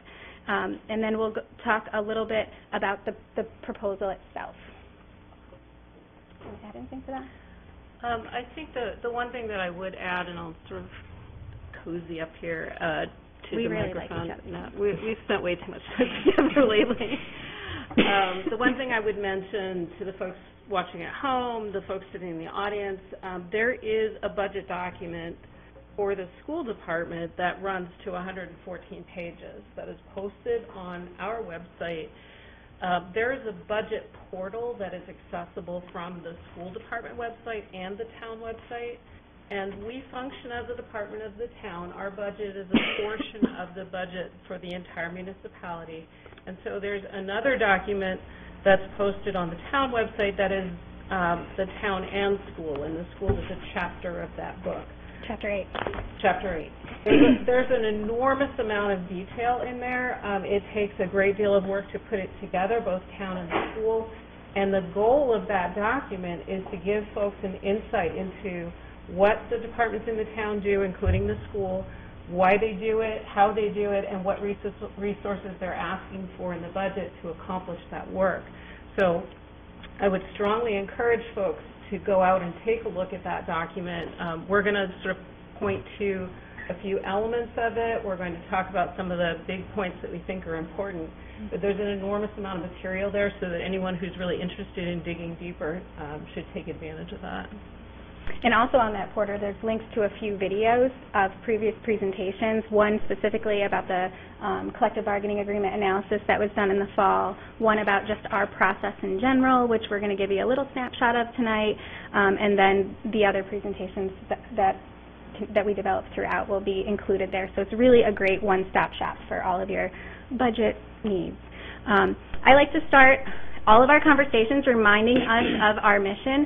Um, this is our second time seeing it today as a school board and a leadership council, um, but I really do believe that this is why we exist. And it's so critical that we keep this in the forefront of our minds so that um, as an organization, we're always striving towards this common mission. And when, when I read this mission to you, I want you to also be not only be thinking about the academic learning that happens in our schools, but also the social emotional learning um, that happens with our students. So um, we believe that the fundamental purpose of our schools is ensuring high levels of learning for each and every student. Therefore, we will do whatever it takes to bring all students to their full potential. So I wanted to start just talking a little bit about the current reality. And if you've ever read Peter Senge's Fifth Discipline, you understand the visual there. Um, one of the things that we're realizing as educators in, in in our work is that we're being asked to do a lot of new and different things um, and there's a lot of pressures on the coming to coming at us and to us from a lot of different places in order for us to realize that mission that I just shared with you. And so partly what we want to do tonight is start off by really identifying like what is that current reality, um, what is the, what is the current status of our school systems, and how are we going to work towards that vision, that that student-centered vision that we all keep at the forefront of our mind, and really that learner-centered vision as we think about what our staff needs um, along this journey of continual improvement. And so the idea here is that we're trying to keep just the right amount of tension between the current reality and that vision. Um, and if the vision starts to exceed at too much of a, a rate, and our current reality isn't adjusting next to it, imagine that being a rubber band, we all know what would happen if you begin to stretch it too far. Um, but we also know if we set our goals too low and we underestimate the potential of our students and staff um, while keeping the current reality static, then that rubber band's going to get really kind of squishy and not stay taut and create that creative tension that we need. So I would say that we um, have a, a high level of creative tension at the moment. All of my educators in the audience, would you agree? Um, we're trying to do a lot for our students with a lot of external pressures squeezing in on that mission. And so um, Kate created this great diagram. I kept like swinging my arms around and saying this, and then she finally made a visual to support that. Um, in the middle there, it's really tiny, but that's our mission that I shared with you. So thinking about that high-quality education that all of our students not only deserve, but have a constitutional right to. And then what are the pressures that are squeezing in on that? Um, so at the top, you have the continual reduction in state funding for education. I'm sure you've seen the articles in the paper um, and heard us talking about this, but we are realizing this year a, um, a massive reduction in our state subsidy, something that we knew was coming along the pike, but we didn't expect it to happen so rapidly. Um, so of course that, that puts some pressure on the work that we need to do and the continual improvement that we're trying to accomplish um, on a daily basis. So on the side then you have some pressures coming in from the rising fixed costs. Um, we have our collective bargaining agreements, which is a good thing. It allows us to recruit um, and retain highly skilled staff, essential to our mission. Um, but then benefits are increasing, the cost of supplies are increasing, the level of services that students are requiring is increasing, and those costs are going up along with the cost of energy to keep our schools uh, warm and safe for our students and operating efficiently. And then we also realize this pressure coming up from the bottom, and these are like in no particular order, but um, the fact that this shift from the, the state funding, the, the reduced state funding to our local taxpayers, we're very aware um, of the capacity of our community to be able to continue to uh, contribute to this social responsibility called education. And we realize that we can't continue to go out to our taxpayers and ask them to fill these gaps. Some, for some of our taxpayers, they have the will and the means and they're able to do that. Um, but for some of our taxpayers, that's not their current reality. Uh, when you look at the demographics of our town, our 55 plus community is growing much faster than our school age community. Um, that doesn't change the needs of our school age community. It doesn't change the demands um, that we have as educators to make sure that they're getting the very best possible education that's going to allow them to be successful. But we need to be aware of that pressure not only on us, um, but on our on our taxpayers. And then, of course, there's you know the, the unfunded mandates and the partially funded mandates that come to us or at us from the state. So proficiency-based education being one of them. Um, I'm happy to say that there are some state funds that support that work, um, but it's a teeny tiny you know drop in the bucket comparative to the amount of professional development and personnel needs that it will require for us to do that work really well. And then um, other things like the evaluation system, PEPG, that uh, Mrs. Beely was mentioning earlier, ESSA, Every Student Succeeds Act, we're still learning about what that impact might be. And then just the special education costs and 504 costs to make sure that all of our students are getting exactly the specialized education that they require. So if you imagine this kind of pressure coming in at all sides, that's what it feels like to be um, an educator today, a little bit. So Kate's going to talk a little bit about what, what's going on with our state subsidy and what's been happening over time. So this this starts to sound a little bit like uh, like a broken record. Um, state subsidy is the funding that the State Department Department of Education delivers to local communities to support their K-12 education programs. And uh, this slide is is pretty telling. We've got a graphic coming up that uh, really shows it. Um, Scarborough State subsidies started out at $7 million in fiscal year 2009, and uh, so far this year it's shrunk by 49.2%. In this current year, um, 7.8% of the budget is being funded by the state. So if you, you know, want to talk colloquially, for every dollar that we spend, we get 7.8 cents from the state in support of that, which again, as Julie mentioned, means that the local taxpayers are supporting our district uh, to an enormous extent, and we're getting very little outside funding.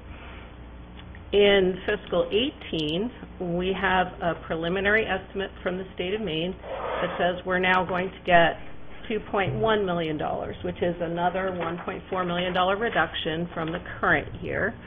Um, and really, we don't have a lot of other options for funding in schools. Um, we have some miscellaneous revenues that we plug in, um, and we'll talk a little bit later about some of the other contributions that are certainly made by parents and community members to our school programs. But essentially, when state money goes away, then the local taxpayer is expected to pick up the difference because the costs don't really go away. And so what does that look like over time? Um, these two graphs give you a pretty strong visual. The graph on the left shows um, the state and federal funding here in Scarborough from FY9 to the current, and then the graph on the right shows the tax rate in Scarborough. Not hard to see how that funding has been shifted onto the backs of the local community. And, uh, you know, understandably, that creates great pressure, as we saw in an earlier slide, um, on our taxpayers to watch that increase year over year, um, just to keep our schools running pretty much on an even keel with minimal um, new investment. And if we were to add uh, median household income, another chart here for you, you would see that it's a pretty a pretty straight line with a steady decline um, happening. Again, you know, partially due to the the way our, our demographics are shifting or growing, I should say, in town. So uh, there are two bases for the determination that the state makes on how much money to send to any individual community for their education programs. One of them is the state's version of the valuation of the town, the property values in a town. Um, it doesn't really have a relationship to the assessment that's done here in Scarborough, where the assessor figures out the value of your property and sends you a tax bill. This is the Maine Revenue Services doing a valuation each year for each community in the state by their own parameters. Uh, but you can see on this chart, and this goes from fiscal 15 up to the um, the coming year, that this is the, the the point of this chart is that looking at us from the Department of Education's point of view, they figured that we're doing really well here in Scarborough, that our property values are going up, and that's their measure of the prosperity of our community, and it's their measure of our ability to pay locally for the services that we're providing to our students. So there are two factors in the determination of how much money we get from the state.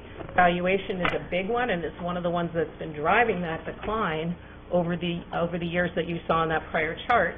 The other one is student population, and our student population has been experiencing um, either flat or a slight decline for the past few years. So the combination of those two in comparison with other districts around us has created that drop-off in state funding. So it looks like we're land rich, but it doesn't take into fact, um, or property rich, but it doesn't take into fact our median household income at all. There's no income um, factor in their determination of our ability to pay, which is one of the um, the complaints or, or um, dissatisfactions that people have with the way that that formula works because property isn't necessarily a liquid asset. Just because you own land that's worth something doesn't mean that you can write a check tomorrow. Right. And so um, these factors, these contributing factors that Kate mentioned, um, makes it official or almost official or anticipated to be official, I should say, that Scarborough will become a minimum receiver. And so we wanted to just take a few minutes to make sure that you all understood what that means to be a minimum receiver. Right, and we've been using that phrase for a couple of years now because we could sort of see the writing on the wall here. Again, we're being compared with all the other communities in the state of Maine in terms of that small pool of money that's available for K-12 education from the state level. Um, minimum receivership is the phrase that we use to describe the statute that says there's a minimum amount that the state can provide for K-12 public education in any community. So they go through this process of determining the value or the cost of education in each community. There's a complex formula where they decide how much money we need to run our schools, and then they go through the process of deciding how much money we can come up with to pay for that. But at the bottom of that is a statute that says you really can't get less than this amount. And this amount is based on two calculations. It's the greater of the two. One calculation says it's a, um, a multiplication of your per pupil costs, and the other is a percentage of what you spent on special ed the last, in the last year that they're looking at. So they're looking at last year's expenditures from Scarborough. Um, in our case, our special ed costs were more than the calculation using the per pupil cost. So when you see that $2.1 million figure, that's what the state is telling us we're going to get next year, that represents 33% of our special ed costs in 2016, fiscal year 2016. So as someone who's new to the district and, and learning all about the Maine um, EPS formula in this system, what, what this translates to me is that you're getting a really big bang for your buck here in Scarborough.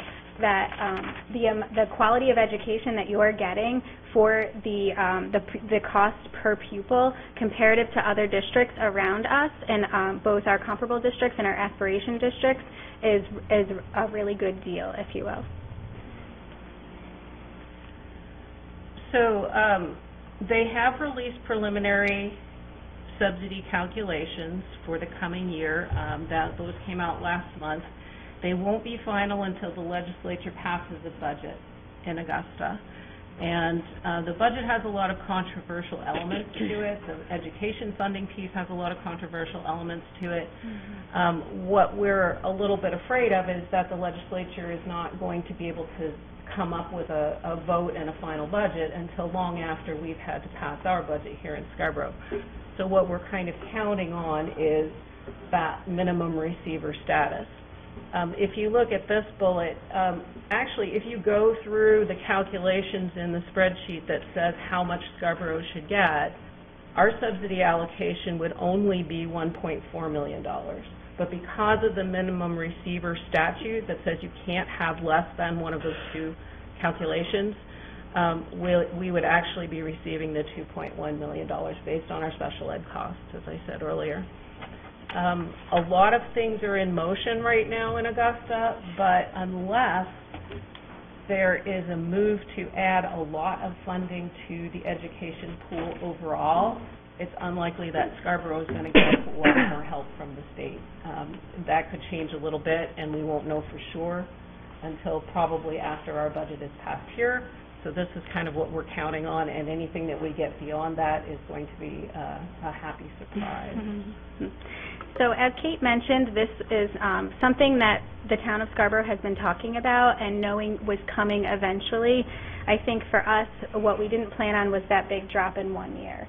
And so um, we do have the ability to use fund balance as revenue at this point. And um, Kate has a handout for you that she's going to share. Um, and this really comes from the Wentworth project funds uh, that were used for debt service payment back in FY16, and then um, 2.2 million in unassigned balance funds that were available as of June 2016.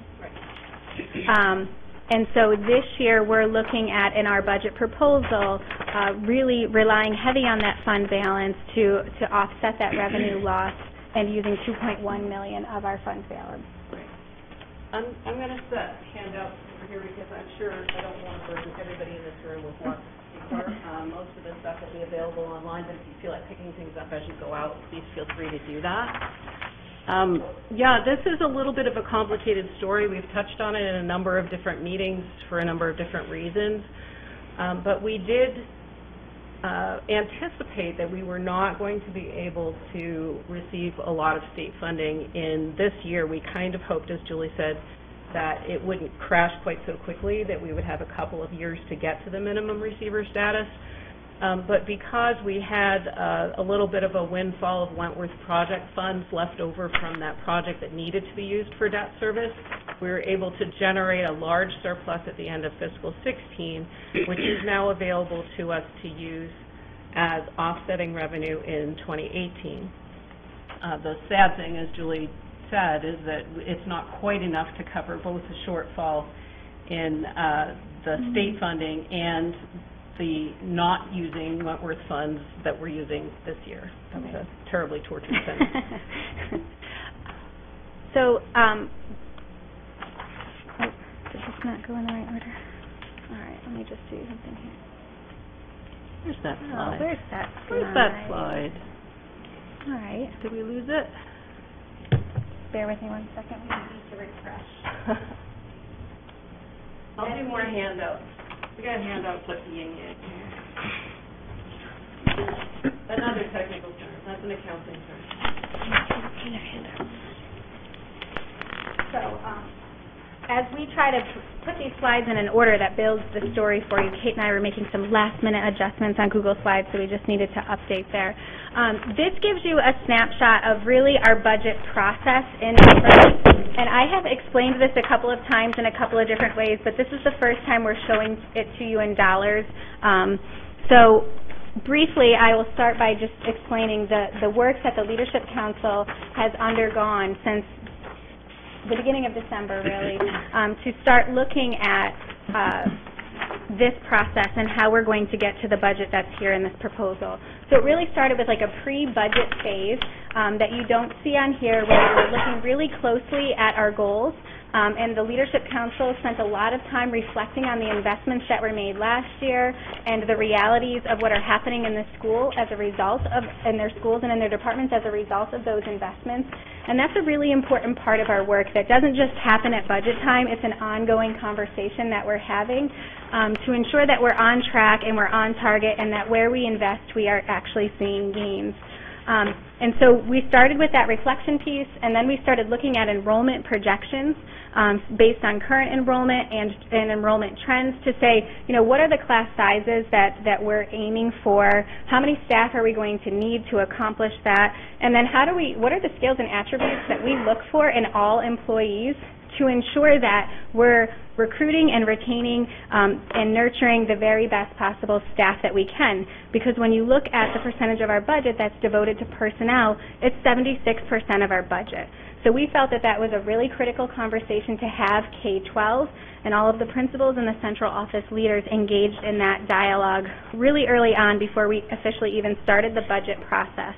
Um, and then as uh, as that conversation was happening, we were also looking at what are the potential retirements, what are the potential vacancies, um, you know, who are the staff that we need to grow, and um, how are we going to do that? Because that really leads into the, the first phase of the actual budget process, which is what we call level services.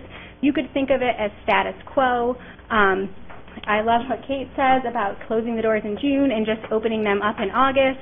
Of course, even when you're looking at level services, there is a cost increase because in level services, 76% of that is our personnel, and there's contractual agreements and contractual obligations um, that we are uh, that we are bound to uh, fulfilling. And so, in this level services budget, we're really just saying, how do we how do we maintain the current programs that we have? Um, but also in those conversations, we're meeting one-on-one. Um, Monique Culbertson, myself, and Kate sat down with um, each department to really find out what, how are you currently using your funds, how many funds have you used to date, um, and what are you projecting for the rest of the year, but then also in terms of needs for next year to just maintain those level services.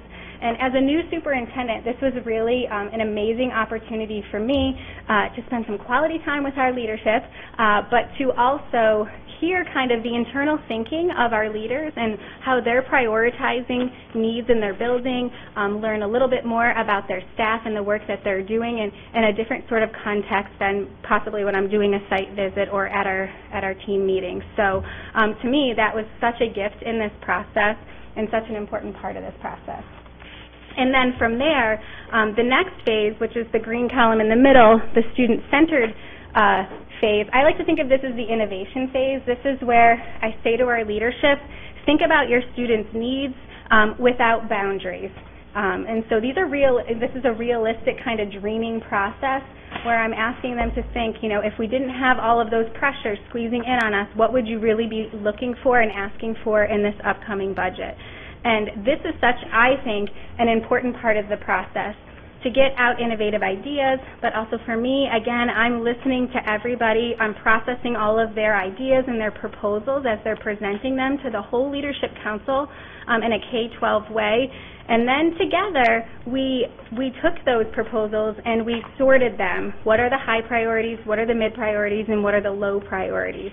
Um, and that, again, gives us a sense to kind of figure out what can we do within this budget um, and from there, after that part of the process occurred as a whole leadership council, you're talking about 21 people in a room really thinking hard about our students and our staff and what they need. Um, And then from there, there was more individual conversations where different principals or different department heads might be asked to go back and rethink, um, to look at existing resources and think about how could they realign or restructure some of their existing resources so that we had a better match between um, the strengths and the skills of the staff we currently have and the the newness of the work or the changes in the work or the shifts in the work that needed to occur. So um, this is one of my favorite parts of the budget process because I think it really gives us a chance to, to stretch our thinking um, and challenge each other's thinking. From there, there's more work that happens in between, more meetings, more conversations about those proposals, um, about how we've sorted them in priorities, and then we're bringing together what we present to you, which is the mission critical budget. And so for me um, and for our leadership, this is oxygen. This is like what we absolutely need in this budget in order to ensure that we are continually improving. Because the reality is, we don't have our ki- we don't our kids don't have time for us to not continually improve. And so we need to make inter- incremental investments um, while also realigning and reassessing our current resources in order to ensure that we're always growing and improving. Want to add anything to that? No, that was great. Okay, wonderful. so that's kind of the the snap the the whole budget process um, in a snapshot. And um, you know, we're not expecting you necessarily to read these charts. We know that they're small, but we wanted you to have a visual so that when you go back to the budget portal and you're looking in the budget documents, some of these numbers and some of the things that we're pointing out will um, will be making sense to you. Right, and in, in this one, you see um, three elements to the school budget, and in the municipal document, the school department is generally referred to as education as a whole. There's places where the budget's broken out, and there's places where they're clumped together. So what we've got here is our general fund operating budget, which is K-12 education as we think of it. We also have the adult education program, the adult learning center, which is part of our budget, and we also have the school nutrition operating budget. And then another piece, which isn't reflected here, is um, the capital budget. So all of those pieces together form the education budget. Um, this is a, a place where things are sort of added together and um, represented in one spot because it compares nicely with some of the charts that are on the town side of the budget book. And so when we look at our budget as a whole, this pie chart kind of breaks out um, where the money goes, if you will. Again, I know that this is small, so I'll just kind of walk you through it. The big uh, blue part is personnel. That's the 76%, 76.1% of our budget. And then the darker um, slice, that's our debt service, which is 11.6% of our budget. Um, and then if you looked at the red slice there, uh, that's contracted services. And then the rest is supplies and, and tuition, um, operations, district professional development, energy and utilities. Um, so you can see that there's very little in the school budget that we have a lot of control over. Um, much of it are annual costs that will go up in incremental ways, um, but we don't have a ton of flexibility to be uh, super creative, if you will. Mm. You want to answer that? Um, I would just say that salaries, wages, and benefits, I think we heard a comment yesterday evening um, about teacher costs. Salaries, wages, and benefits that form 76% of our budget are everybody who works for the district. So it's teachers, it's support staff, it's administrators, it's bus drivers, um, custodians. This is this is basically a, a human-driven organization. It's a human business, and um, as Julie said, there's not a lot of discretionary spending. There's not a lot of stuff in the budget. It's basically the people who are providing those services for our kids. So now we'll take a little closer look at level services um, and annual cost increases. Remember, this again is that first phase, that status quo phase of our budget. Um, and here you have the K-12 operating budget, last year approved to this year proposed, and also the debt service. Right, and these are the costs that are kind of, um, as, as the label says, fixed costs, annual cost increases. Again, we're kind of talking about a status quo situation so that, you know, we're, we're, we want to maintain, we want to continue the programs and the services that we're providing in the current year and carry them forward. Um, But that doesn't mean that we don't reflect on those things. It doesn't mean that we don't take a look. We don't simply say, well, this is what we had this year, so therefore we're going to have this next year, and then we're going to add some more things. We go line by line through every level services account. We sit with, as Julie said, we sit with each leader, each building um, principal, and each department head, and go line by line through each category of spending that they have and ask them to review with us what their needs are going to be for next year. So if you look at the 600 line item detail that's in the back of the budget book, which I'm sure you're all going to do as soon as you get home, there you'll see some lines go up, some lines go down. Um, it's not just sort of status quo in the sense of we're not changing anything or we're not looking at it. Oh, here's a handout. So Kate has a handout for you. I'm not going to read all of the slides to you because you're going to have access to the handout. And again, this presentation and the entire budget book will be available online. But these are some of the major cost drivers um, to our level services budget. So again, this is with no new investments. This is just um, the, the commitments that we currently have and gives you a sense of some of the dollars associated with those things. Right, and as, as you see on the slide, um, since we've just been talking about the fact that personnel costs are the major costs in our budget, um, you can see that most of the bullets in this page, in this slide, are personnel costs. Um, the teacher salaries are um, are created through a new collective bargaining agreement that we have this year, and, and there's a, a really interesting analysis presentation that's on uh, the budget portal website right now that Julie did earlier in the year that kind of talks about some of the impacts of that bargaining agreement. We've got two bargaining agreements that uh, Jackie alluded to earlier that are under negotiation right now. Um, we have health insurance costs, uh, dental insurance costs, and workers' compensation costs that are um, attached to our existing employees and are, are currently being estimated.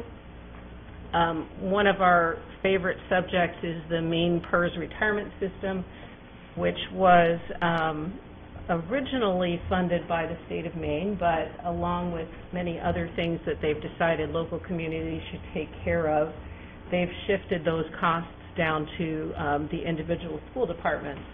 So we have an 18% increase in that requirement this year over last, and um, that just continues to be another cost shift onto local uh, local communities.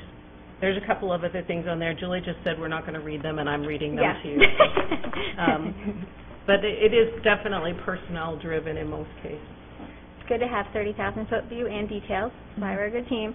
Um, the one in the name of, you know, the, the point of tonight's presentation, the why behind this, um, you know, I'm so proud of the, the collective bargaining agreement that we have with our teachers and our employees. I think that it's really, really important for us to have competitive, competitive salaries for our staff. Um, just to put a little bit into context, and this is in that presentation that Kate was referencing, um, we have a very experienced staff.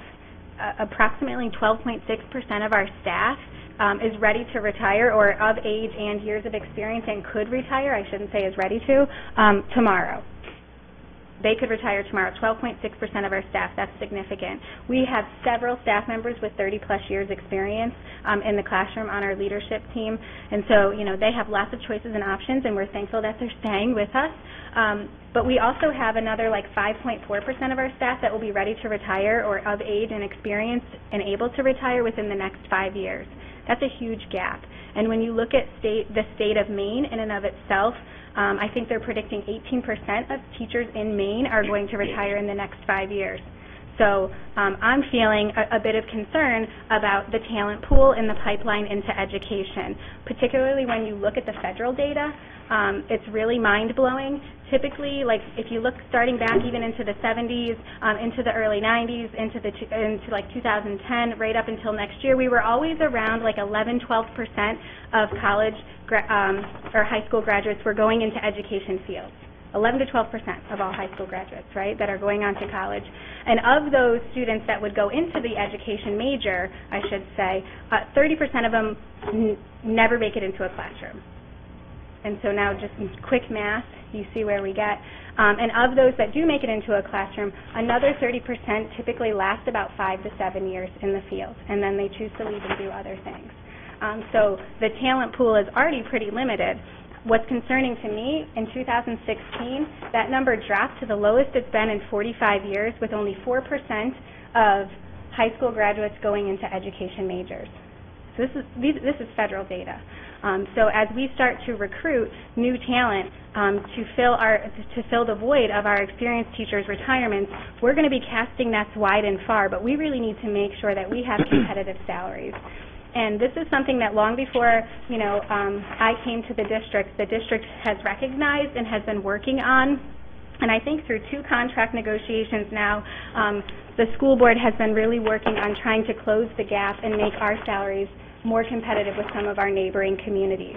And so this contract, what you're realizing in this contract and this budget, we make a big step towards that, but we're still not even in the middle. We're still on the low end when you start to compare to other districts. Um, and contracts are a tricky thing. Salaries are a tricky thing to compare because there's lots of other factors that go into it. Um, so I say these things in a really general way, but um, there's a, a deeper analysis that has been done and is available on our website as well that looks at all of these sort of factors. Uh, um, and so I think that's something really important for the community to keep in mind as you're as you're looking at that big piece of our budget, that 76 percent. Okay, so one of the problems or challenges with presenting a budget in the beginning of April is that there are lots of things about our projections for next year that we really don't have great data on. Um, under charter and under statute, we have to go through a political process to get our budget through the various stages of approval and out to the voters. And so we have to get something out there to talk about, but in some cases, there's some pretty wild estimating going on. Um, we're pretty good at it because we've been doing it for a long time, uh, but there are some things right now that we can tell you that we don't know the answers to, and we won't really know those answers until we get further into the process. So the difference between the first reading that we're doing tonight, we're going to ask the board to pass this budget in a first reading, and the second reading, which they'll be doing at the end of this month, um, it can be significant depending on these outside factors that'll come in for us.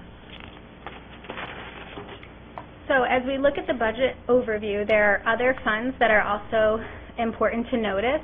Um, school capital budget, adult education, and school nutrition. Um, again, I keep referring you to the budget document because there's a ton of interesting information in there, but these are all separate elements of the education budget that'll be reviewed by the finance committees and the, and the various, the boards and the council. Um, they are considered to be separate funds, but they are managed by the school department, and they're part of what we have um, as our planning process for the next year.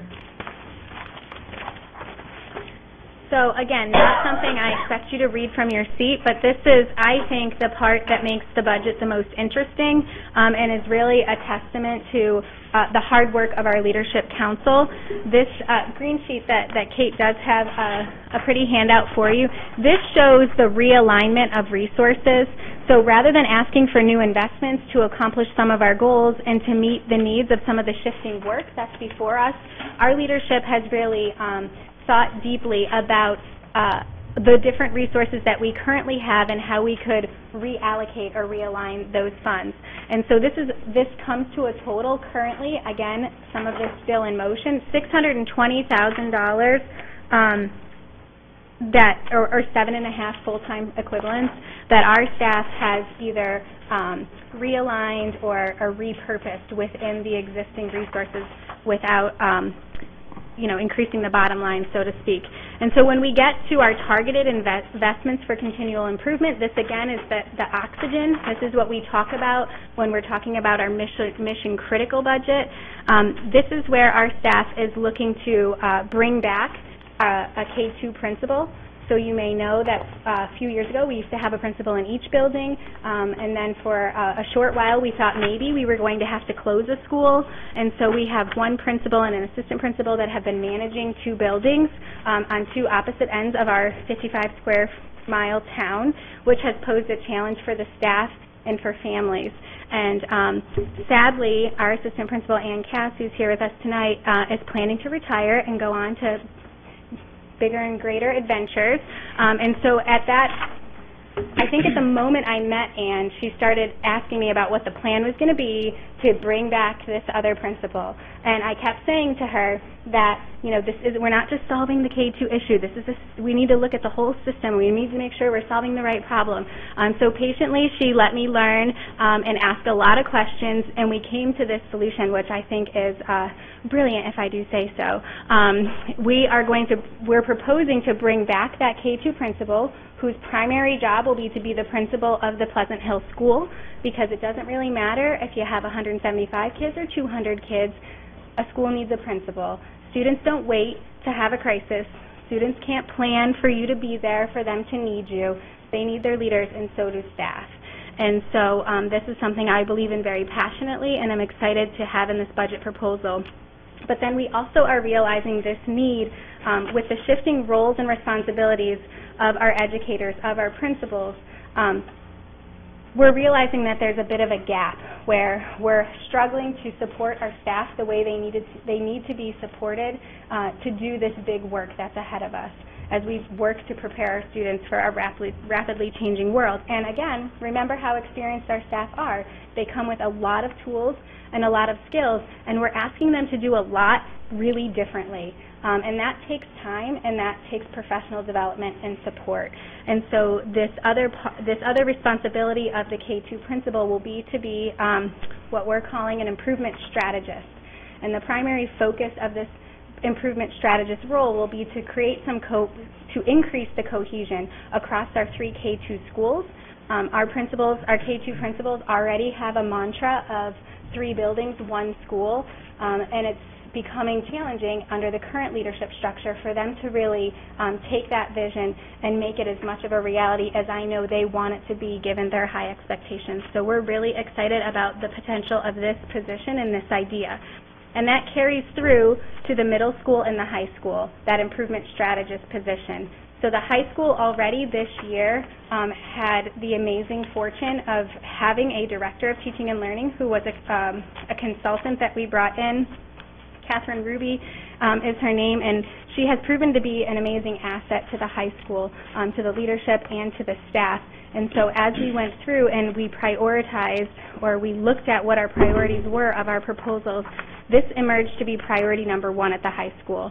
Um, so you see that position here as an additional FTE because in the current year we were funding it through grant monies that will no longer be available as we go into the next year. So point 0.7 of, of her position is um, in this budget, and then point three is coming from reallocations.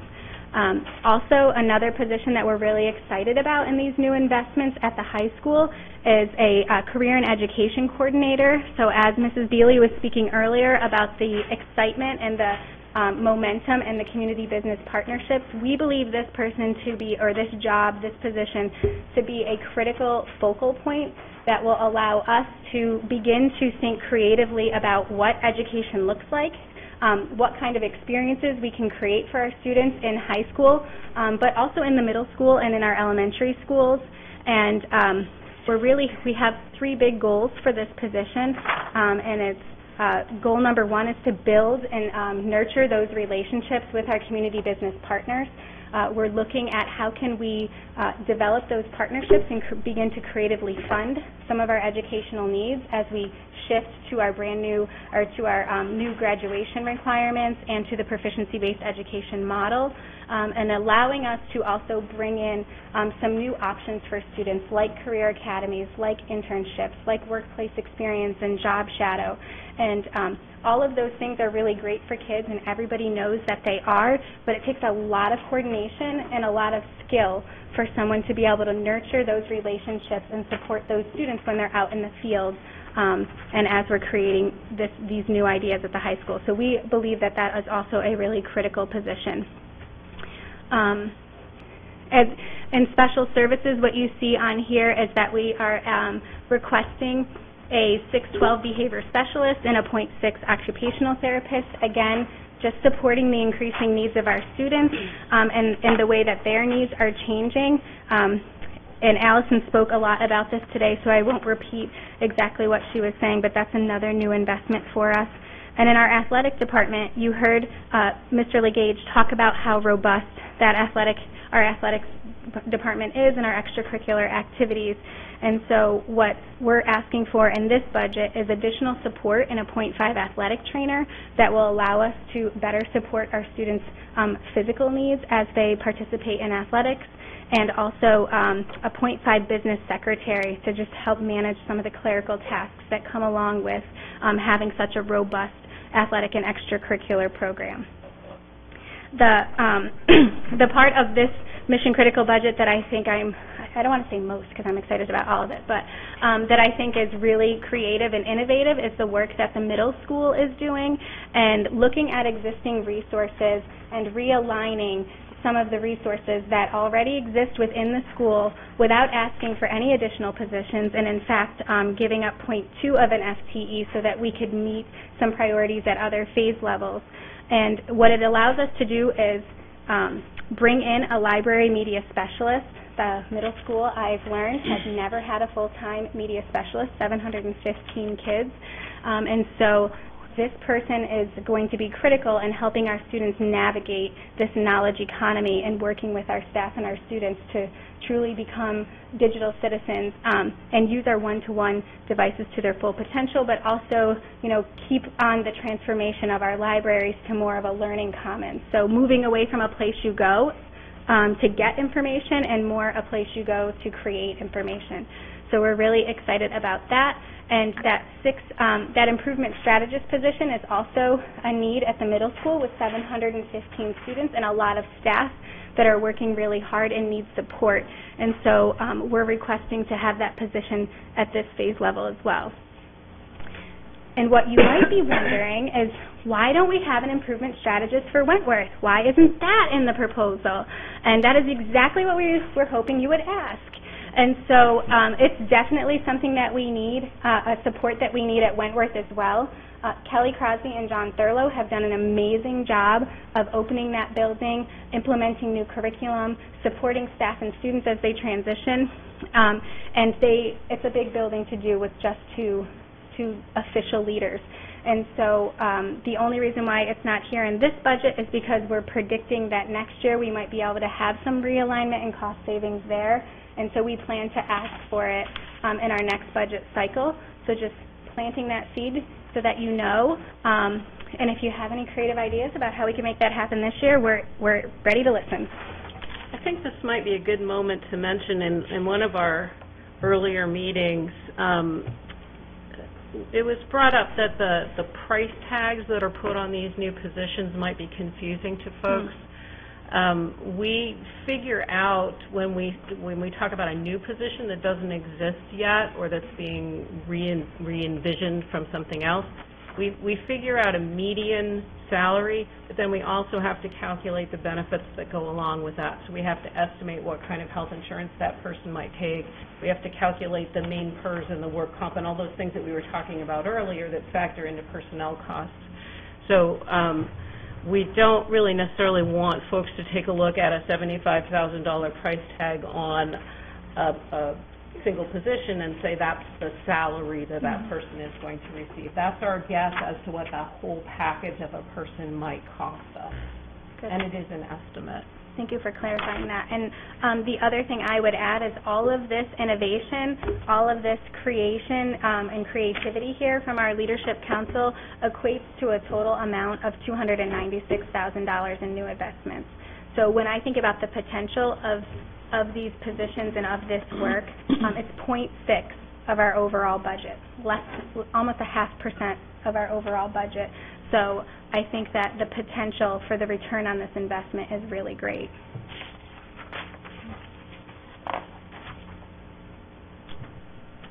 So as we um, bring this conversation to a close, I just want to share with you some of the ways that we are already seeking creative funding sources, but I also want to let you know that this is at the forefront of our minds as we think back to the pressures and we think of the pressures also that are on our local taxpayers and I just wonder if our community knows how much our families currently contribute. And um, this is something that I'm dying to actually calculate, but it's kind of a moving target. Um, but for our families, you know what you pay for activity fees, for clubs, for parking, um, for laptop maintenance, for field trips, and fundraisers. So I think if we could quantify that, that would be a really good data point to share with our community to show that you're already offsetting the bottom line through your contributions in the services that you're seeking in our schools. Um, and then, of course, the community support. We're so fortunate in Scarborough to have a Scarborough Education Foundation that funds innovation grants for our teachers. I'm super excited about the most recent grant cycle. I can't wait to see um, what SEF is able to support because there's some really interesting ideas across all of our phase levels, um, inc- including uh, some district-wide initiatives to bring Project Lead the Way and other STEM initiatives uh, into our schools. We also have a Feinberg Trust that supports our art, our arts, our fine arts program, um, and also supports SEF. So that's uh, uh, another aspect of creative funding. And then, of course, the school business partnership. I feel like that's a potential we haven't quite um, fully realized yet, but there's some really exciting conversations going on. Um, and I'm learning how to, to think more like a, a business person than than an than an educator as I, I work to grow my skills in that area as your superintendent. And like I said, the fundraisers, the the local grants and donations, and of course volunteer hours. That's always a tricky one to calculate. But I heard tonight about how you know several of our parents mentioned being in the schools every week, once a week. That's pretty amazing support for our schools. So um, I hope that this presentation was informative. I'm sure you may have lots of questions. I encourage you to stay engaged in the process. Our budget forum is coming up on April 20, 26. 26th. April 26th, and that'll be at Wentworth School. It's open to everybody. You can submit questions ahead of time online. Um, and so I encourage you to do that. We answer every single question, and then if you come and you have more questions, we'll answer those too. Um, and then we also have the actual budget validation vote, which happens in June. And uh, Jody, could you remind us of the date for the vote? June 13th. June 13th, and that'll happen at Scarborough High School. You have 12 hours to come out and vote from 8 to 8. So um, I hope that you take advantage of those opportunities and tuning into the town council and joint or the school board joint finance committee meetings as we as we work through the process. Absolutely, and uh, again, I keep, I feel like I keep plugging the website. Um, all these people who are sitting here in the room, I appreciate the fact that you're not sitting at home looking at the website, you're actually listening to it. But uh, we do have on the school website and on the town side, we've got a sort of a calendar of the various budget process pieces that are going to be happening for the next six or eight weeks. And um, we totally welcome community involvement in those. Um, Most of those meetings are, are open to the public, and, and public comment is uh, certainly welcomed there. So are there any questions from the school board regarding budget? No. We're looking at the clock. Um, we have a policy that's enforced that we can't take up new business after 9:30. So we are moving at lightning speed now. Motion, please. So I have two movements. Um, I move approval to adopt the Leadership Council's budget proposal as presented for first reading. Total general fund operating budget is proposed at 48,128,940, with offsetting non-tax revenues of 4,788,151 and eighty-eight thousand, one hundred and fifty-one, and a tax request to the town of forty-three million, three hundred and forty, seven hundred and eighty-nine dollars. Second. I, do we want to do both at the same time? Yes. Okay. I also move approval to adopt the capital invest, uh, capital improvements, adult education, school nutrition budgets as presented for first reading. Second. Okay. So we just had a really long meeting, uh, talking about the budget, but if anyone has any general comments or questions right now, I'll shoot him. Actually might shoot you. I will just, I will just make a general comment that this is an amazing budget for the situation that we're in, for the state funding and the pressures that we are experiencing. Um, and it's a remarkable, um, budget put together by the Leadership Council and the superintendent, especially for a first time out of the gate. Very impressive. Um, anything else? Okay. All in favor of accepting this budget as a first reading and the capital improvement? Seven plus one, thank you. Plus two? Yeah. Very late, sorry. Uh, Quite a few yeah. I got you. Okay. Okay. Which takes us to, um, well, just one point of order. If we are going to, in the past, in my memory, we have voted to extend the time to 10 o'clock. Anybody else remember that? Anyone else's tenure? Okay. So let's do that right now so we don't have to interrupt the conversation. So I move that we um, suspend policy BE that says we cannot take new business after 9:30 and extend it to 10 o'clock. Second. Any conversation about that? You sure you want to put a limit on it? I was just going to ask that. You know what? I think it was, we only added a half an hour last time. If you want to give it to 10:30, I'm open to that. I but- don't want to give it to ten thirty, I'm Yeah. simply saying, We you don't wanna want to do make one sometime. motion or continue it. Seriously, be realistic. I think 10, I think we can do it. Uh. Appointments is going to go fast. I think we can do it. Okay. Okay? All in May- favor?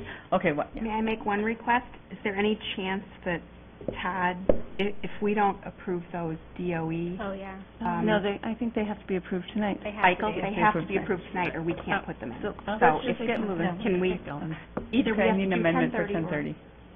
I uh, request that we amend the extension until 10:30 PM if necessary. Okay, all in, okay, all in favor of the amendment? Okay, amended to 10:30. All in favor of 10:30 extension? Students, you can leave because it's a school night if you need to, No, so we just get can't, up and 'cause walk I'm out. driving him. Yeah. Man, Anyone give Tom we have to call an Uber. Gosh, okay. We'll be so quick. All right. So, um, 11.4, first reading the proposed FY18 um, school calendar. I move approval of um, calendar option number three for the first reading uh, for the 2017-2018 school year. Okay, discussion? Um, I just first want to say I appreciate everyone coming out and um, and and speaking. We know it's not always easy to get up and and have to do that in front of everyone. So we appreciate that, and we think your engagement is important. And um, thank you for hanging in in there with us tonight. We have all done a lot of research on this issue over the last 18 months, and I'm convinced that the calendar option number three is the right option for Scarborough at this point. We, as a board, have gathered um, a lot of information and should be making a decision based on fact and experience and research for all of our students, which is all 3,000 of them. Our job is to serve the best interests of those students.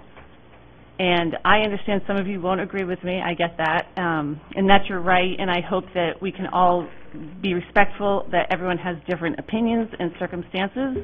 Um, what you feel passionately about one way, there's somebody else out there that feels passionately about it a different way. And um, we understand that it's going to be a big change for, for families and potentially a tough change for some. We also understand that this is a welcome change for some families. Again, it is our job to listen to all sides, ask questions, do the research, um, and come up with a balance that meets the goals.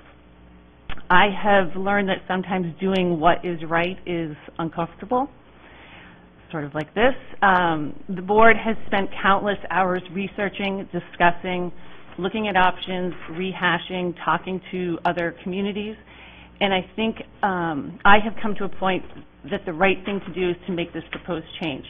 I also think that it's important for all of us to remain open-minded, that this board and our leadership will continue to look for efficiencies in transportation and schedules.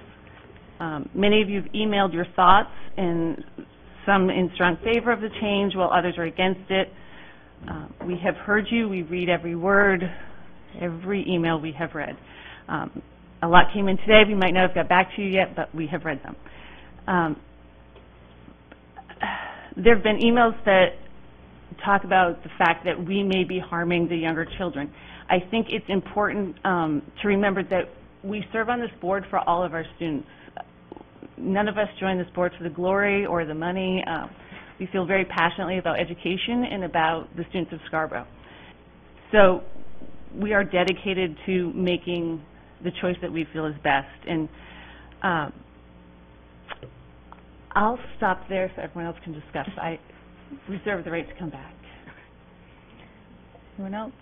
I have a serious opinion, but I would like to hear from our students first. Um, Thomas, you can go. So, um, over the past two weeks, uh, I've heard a lot of very passionate people talk about, you know, the, uh, especially option three and the implications it would have. And every single one, every single one was against the change. I had not one person say to me that I want start times to go, you know, to 8:30 or 8 whatever. Um, and I think that that really says a lot about the situation at least the high school that you know there may be a lot of people that um, want you know start times to be later, but they're not being at least vocal enough to me to uh, really seem to have as strong of an opinion as the people opposed to it. At least that's how I take it. Personally, I don't have much of a strong opinion, but uh, either way, but I've heard a lot more against it than for it.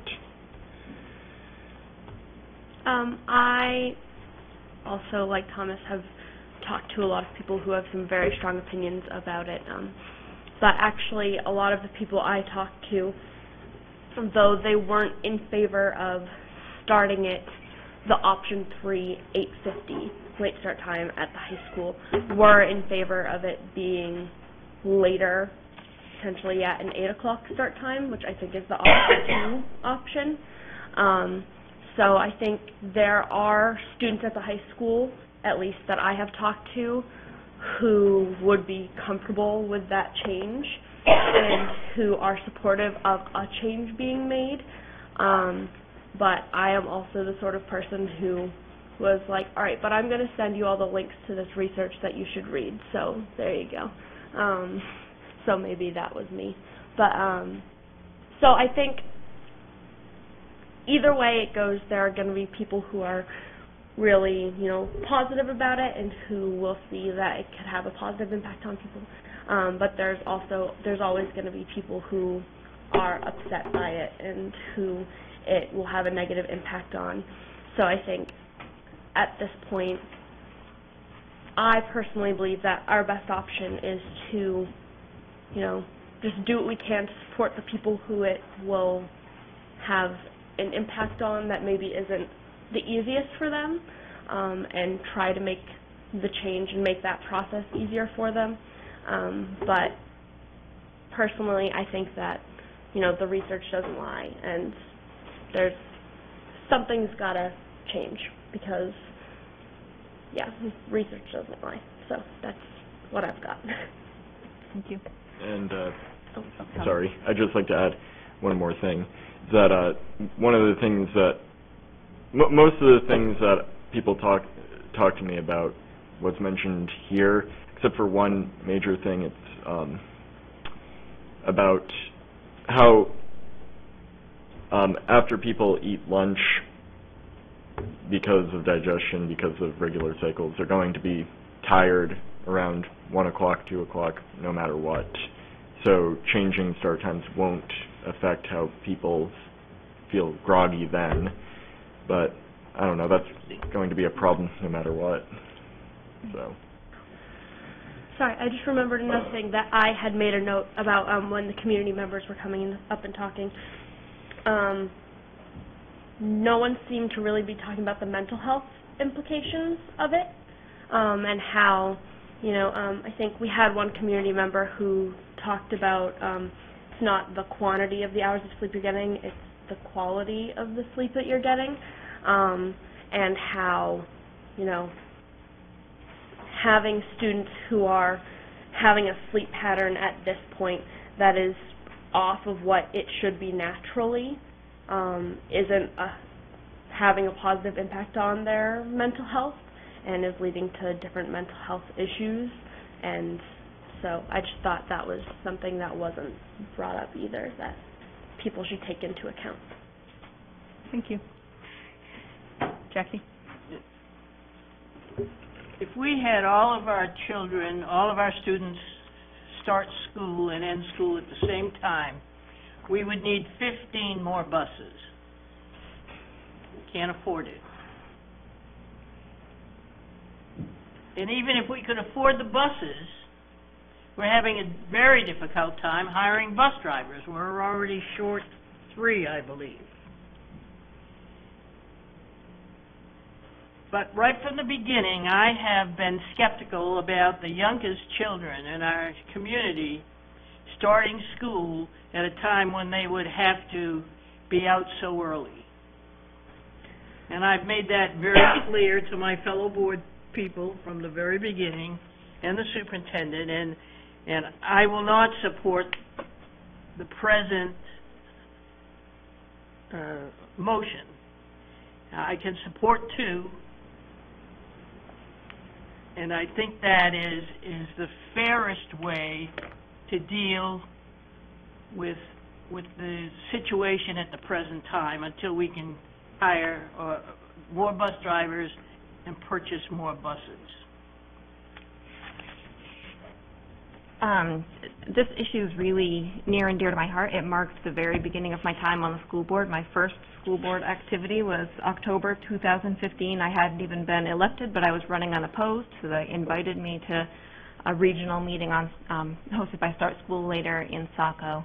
So this was, and it was shocking. It was really enlightening to me the research and seeing um, how it almost feels like malpractice to be sending our high school students school at 7:35 when we know what we know now. It feels uh, I don't see how we can, in good conscience, not change that. Um, the the some of the concerns that we heard about the high school kids about how they'll just go to sleep later, um, about how it's not going to make a difference, um, they won't be able to do activities. The science and the research don't bear out any of those conclusions. The science shows that they will get, in fact, get more sleep. Um, I think the one of the um, things is that it, waking uh, an adolescent student up at 7 o'clock is the equivalent of waking one of us up at 4 a.m. That's how deep they are. They should be sleeping at that point. Uh, and to interrupt that day after day, maybe not on late start Wednesdays, but that's not enough to make up for it. Day after day, it has a cumulative effect that can lead to all sorts of terrible outcomes for them, and you can easily find that information out there. Um, so I won't keep talking about that right now. Um, I'll go to the K2 kids. Um, I've thought since being in the school district that it seemed the wrong order to be sending kids to school in, and um, not just because of my own children, but also because I have a degree in el- elementary education. I've taught first grade, I've taught third grade. My I have teachers in my family. It's a real passion of mine, elementary education. Um, and I would never do anything. I would never place a vote that I felt like was going to be harmful to them. Um, I think that developmentally we're doing this wrong right now, and I think that the K2 kids really ought to be going to school before the high school kids do. Um, I wanted to point out the average start time for elementary schools in Maine is 8:20. We are at the very later end of that. Um, I also was talking to a teacher who's been teaching in Scarborough for a long time at the K2 level, and she said that when she started in Scarborough, the start time was 8:15. It hasn't changed because there was a scientific uh, discovery that 9 o'clock was advantageous for them. It happened because of busing and transportation, and because maybe we went from two bus runs to three bus runs. It happened by happenstance that we're in the place that we are right now. Um, and I, I appreciate everybody who came up and spoke. Um, like Jody said, I know that you are strong school supporters. I know that um, you believe in what we're doing in the schools, and I really appreciate that and your advocacy and your passion for your kids. Um, I advocate for my own kids, and I really appreciate you advocating for yours too. Um, one thing about the current proposal that bothers me a little bit is having Wentworth and K2 at the exact same times. I think it's not logistically, it doesn't make logistical sense to have them start and end at the exact same time for parents who ha- might have kids in both places. say they need to pick their kids up, they can't be in two places at once. If we can find any wiggle room um, through bus audit or further talk with our transportation director, I would strongly support pushing the K-2 times back to 8:10, 8:15, um, get those kids a little bit of extra sleep in the morning, um, and uh, also make it just make more sense for those families. Um, I think that the concern about uh, kids being out in the dark, um, I've done the research on it. It's the sunrise in Portland, Maine, um, from December 5th to January 29th is, is when it happens after 7 a.m. The latest it ever comes up is 7:14 a.m. Um, I don't think we're going to have little kids out in the dark. I don't think that many kids get on the bus a full hour before their school start time currently. I, so I don't. I think it's a little bit of a misnomer to say that our early, our youngest kids are going to be have to be up, fed, dressed, ready to go at 7 a.m. Even if our bus runs start then. Um, I think 7:30 is probably a lot more accurate, and that's if we can't find the wiggle room. If we can find the wiggle room, it's going to look more like 7:45 for 90% of our kids. Um, so I think that that is not such a unreasonable time, even for those kiddos who do who are at the higher end of needing that um, 9 to 12 hours of sleep. Um, and if we look at the average of that, it's very reasonable um, at 10 and a half hours or so. So. Um, to the point about that it, that um, teaching them at the optimal learning time, that block in the morning from my time in elementary education is gold. You want that morning time for those little kids. That's when they're ready to engage. That's when they're focused. After lunch, just their circadian rhythm looks a lot like adults. After lunch, they get a little bit groggy, and that's true for us as well. Um, so I think that if we can maximize that morning time for those littlest kiddos, that um, we're actually going to be doing them a service. Um, so I think that that is about all I have to say, and um, thanks again for everybody who came out and spoke. And I'm certainly not going to sit here and repeat everything that everyone else has said. Um, just speaking on my own part, I have two kids, and I know that my kids were always up early, mostly. Um, one's easier to get along than the other, as in a lot of families, everybody has two different kids, they have different personalities, they have different things that make them tick. Um, but I see, I, I think that when the survey went out, and I even answered the survey myself, um, I said it would have no impact on me because that's the way I feel. I can drop her off at nine, I can drop her off at seven fifteen. It really and so I think then when some of the results came back, people were saying, well, it has no impact, so that means nothing. But I don't think it was interpreted in that way. Or what I said when I typed that didn't isn't what I meant, that it didn't make a difference to people. So anyway, um, I'm in favor of the option three. Um, like Carrie said, if there was a way to fix that K235 piece, that would be helpful. We have bus issues. We have a lot of square um, miles in this town um, without a lot of extra money, as uh, has been pointed out, and a lot of extra buses. There's not really a way to make every student start at the same time. So that being said, I think that at this point, these are our best options. We're not trying to be trendsetters or um, break the milestone here because a lot of districts have come before us so when people were getting up and saying those kinds of things, I think maybe they didn't realize that Old Orchard has made a change twice, and Biddeford has changed, and all of these other districts. So it's not like we're saying, hey, we want to be at the forefront of this. We are not. We have spent a lot of time, maybe more time than a lot of other districts have, and so I think we have been extremely thoughtful and I appreciate everybody that wrote. We all did read all of the emails. Um, we do have just Kelly or Carrie that answer them um, as the communications chair and as the board chair. So um, don't think that we all didn't read everybody's every word and some people who wrote more than once. So we, we did read them all. Um, thanks for coming out, and I am willing to support number three and hope that we can fix that one little piece. Um, I, I, I again want to thank everybody for coming out because I know it's not easy to speak about things, you know, to the board, and so I appreciate, oh, I appreciate that. And, um, and I just want to reiterate what you said about it not being a new thing, like I was reading about it as well, and it said over, what I read, the uh, statistic was over um, 300 districts in over 44 states have, are also in the process of already made the change or going to make the change, and all over the country. Um, and then I am in favor of um, option three, but I do understand the, you know, hearing parents talk about time with their kids, and I think all of us who are parents value that time with our children and and want everyone to have that time to be with their children um, and have that quality time. So, and so I guess I guess I am in, in hopes that we can tweak it. And I know from my experience when my kids were in the K to two schools, I know the bus runs were not as long as I know what we're you know putting on there. So I, I think there probably will be some shortening of of things with that um, with the K to two. So, um, so thank you. Donna?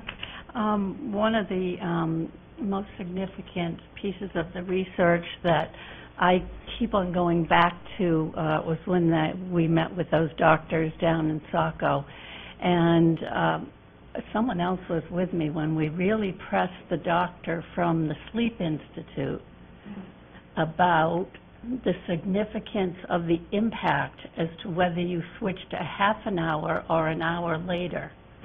And, and I recall pressing this guy on, on this issue and had him answer to us two or three times when he said that there really, you're not going to see the impact until there's been an hour. So there's not going to be a difference unless there's an hour difference. So uh, that for me was pretty significant because I felt that just moving the kids a half an hour to an 8 o'clock or 10 of 8 start time was probably not going to do what we were hoping to get out of this movement at all. So it needed to be the hour. Um, we're a large district geographically, so we have issues in terms of the transportation um, that have to be worked out, but certainly that makes us very different from some of the other towns around us who have already made the movement. Um, and finally, I would say that as, you know, I was a K-5 principal and I was a K-2 principal, and what I saw among our kids was that their greatest amount of work that could be accomplished occurred in the morning. That after 12:30 and 1 o'clock in the afternoon, they still had heavy academic, academic pieces to learn. That was often when we had math and when we had science and social studies added. And they were spent. They had had it by then. So I feel strongly about having our kids get the bulk of their academics during the morning for that time. So I will be, I will be uh, supporting um, option three. Jody? I just wanted to go back to option two to sort of respond to Jackie. And when you first look at that, it seems it seems like the compromise. But I, I disagree in that we're then asking the high school kids to, to make a small change, which doesn't get us to the 8:30 time frame, which was one of, of the goals in this whole process. But it's then asking the Wentworth kids, the 3-5 kids, to go in the opposite direction of, of what's best for them, I feel like. We're, so we're uprooting them another, I think it's a half an hour in that um, scenario, and we're virtually not moving the primary kids. So it's not really a compromise. With the definition of a compromise, we all sort of feel a little bit uncomfortable. So with option three for me, I don't love the 8:50 time frame, and I, I don't love the 9 o'clock for the middle school. I would love to see those um, brought closer to 8:45, frankly. Um, and it's it's moving Wentworth, which is sort of the access access a little bit, and asking the primary schools for 50 minutes. So everyone is giving a little bit in that scenario, and I think if if you know, there's been talk about take a two-year take a two-year cycle to get this implemented. But by doing option two the first year, that second year, you're then asking the primary kids and the Wentworth kids to go, the first year, they, we've swung the pendulum this way, but then in that second year, it's a larger disruption to go back to, to some other scenario. So I just think uh, the two-year implementation may be great, but for me, the first year is option three with the tweaking of, of the schedule to make that tighter. So And I instead of- just thought that, that when we, when we heard the hour piece, so, you know, the- an hour would be better, and now we're going an hour and a half at the high school. I just thought that was too much, quite frankly. Hour and I 15. still think it's too much. Mm-hmm. I think going from seven thirty to nine No. i- i- is ridiculous, quite frankly. And I ask each of you who are college graduates, therefore high school graduates, what time did you go to high school? Eight fifteen. And what time was your first class when you were a freshman in college? Nine. I picked my schedule and I made When sure you I were a wasn't freshman? going. Yes. Well, I didn't have any choice when I went to Orono, we all eight o'clock classes. Go ahead, Carrie. I'd like to point out too that this, um, this science is being recognized by colleges. Duke University has, in, in, um, For the him. right, have moved their classes to eight thirty at the earliest. Even Army cadets, the toughest ones around, like the Army has realized, the military has realized that this is a real thing, this um, sleep phase delay, and um, they have even adjusted. But I also wanted to point out that a vote on the calendar tonight and then a final vote at our next meeting isn't the end of the conversation about how to make this work in our town. Um, I think that some of the issues that were brought up in terms of um, after-school childcare with different release times, um, sleep education, so, um, we heard about like the problem of screens, you know, screens in the bedroom. I think that we could um, do some work around um, educating our community about that sleep hygiene, you know, making that really work. Um, so I don't think that even even a final vote on a calendar is the end of a conversation. And I, I was just about to say that before I turned over to Jackie, but I I do feel like, I, I don't want people to leave here thinking this is the end of the conversation. I I truly think that it's the beginning of some sort of implementation, um, once that final vote comes. I think we all feel strongly that if we can find five or 10 or 15 minutes here and there, it will make a difference ultimately squeezing that schedule. Okay, so, my turn, because we're running out of time. Um, one of the biggest criticisms we've heard in a, a lot of emails um, in talking to people is that we're doing this too quickly. And what you're hearing tonight is not a decision already made, which is another point that keeps coming up. It's that we've been at this for two years. We're certain in the science, we're certain in the research we've done over those two years. It's not just a flash in the pan for us.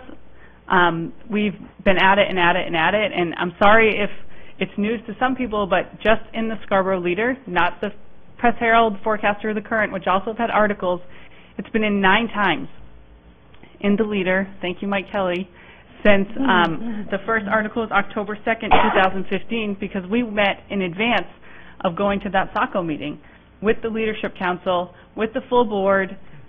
We met and had our own discussion. What would be the benefits, the challenges to the community, to students at every phase level? We went through it all for the first time in September of 2015. We did it again in October in a regional meeting. We've been talking about this for years. We've been doing research on our own. We've been asking surrounding communities. Um, I have scoured the internet and the world. That I have found out what time school starts in surrounding communities around us. We are the earliest high school, with the exception of SAD 6. Everybody else starts at 8 or later. We have one of the latest starting primary schools of any surrounding school. It's not unusual for primary schools to start at 8. Nationwide, that is more common. We are late to the party in changing school start times and shifting. It's happening across the country. The most common way it's accomplished in districts is flipping the schedules. It's a more developmentally appropriate time for elementary students to learn and for high school and middle school students to learn. Um, the research shows that kids are more efficient through the day when they have sleep in the correct time frame for adolescence, and that is between 11 p.m. and 8 a.m. Everything they do through the day is more efficient. There are a ridiculous number of studies, and if it's any indication of how long this has been around, government and science are two of the slowest moving entities on the planet. Um, American Academy of Pediatrics, American Academy of Child and Adolescent Psychiatry, American Medi- Medical Association, American Psychological Association, American Sleep Association, American Thoracic Society, Centers for Disease Control and Prevention, Family Sleep Institute, Maine Sports Medicine Physicians, National Association of School Nurses, National Sleep Foundation, and the National Highway Traffic and Safety Administration. All 8.30 and later for middle school and high school students is their recommendation. The American Sleep Association says closer to 9 or later is preferable. Um, the National Highway Traffic and Safety Administration just released a study in March of 2017 um, called Sleep at the Wheel. Drivers 16 to 24 involved in a crash two times as likely to be drowsy compared to drivers 40 to 59. Of all age groups, teens and young adults were most likely to have reported falling asleep at the wheel in the past year.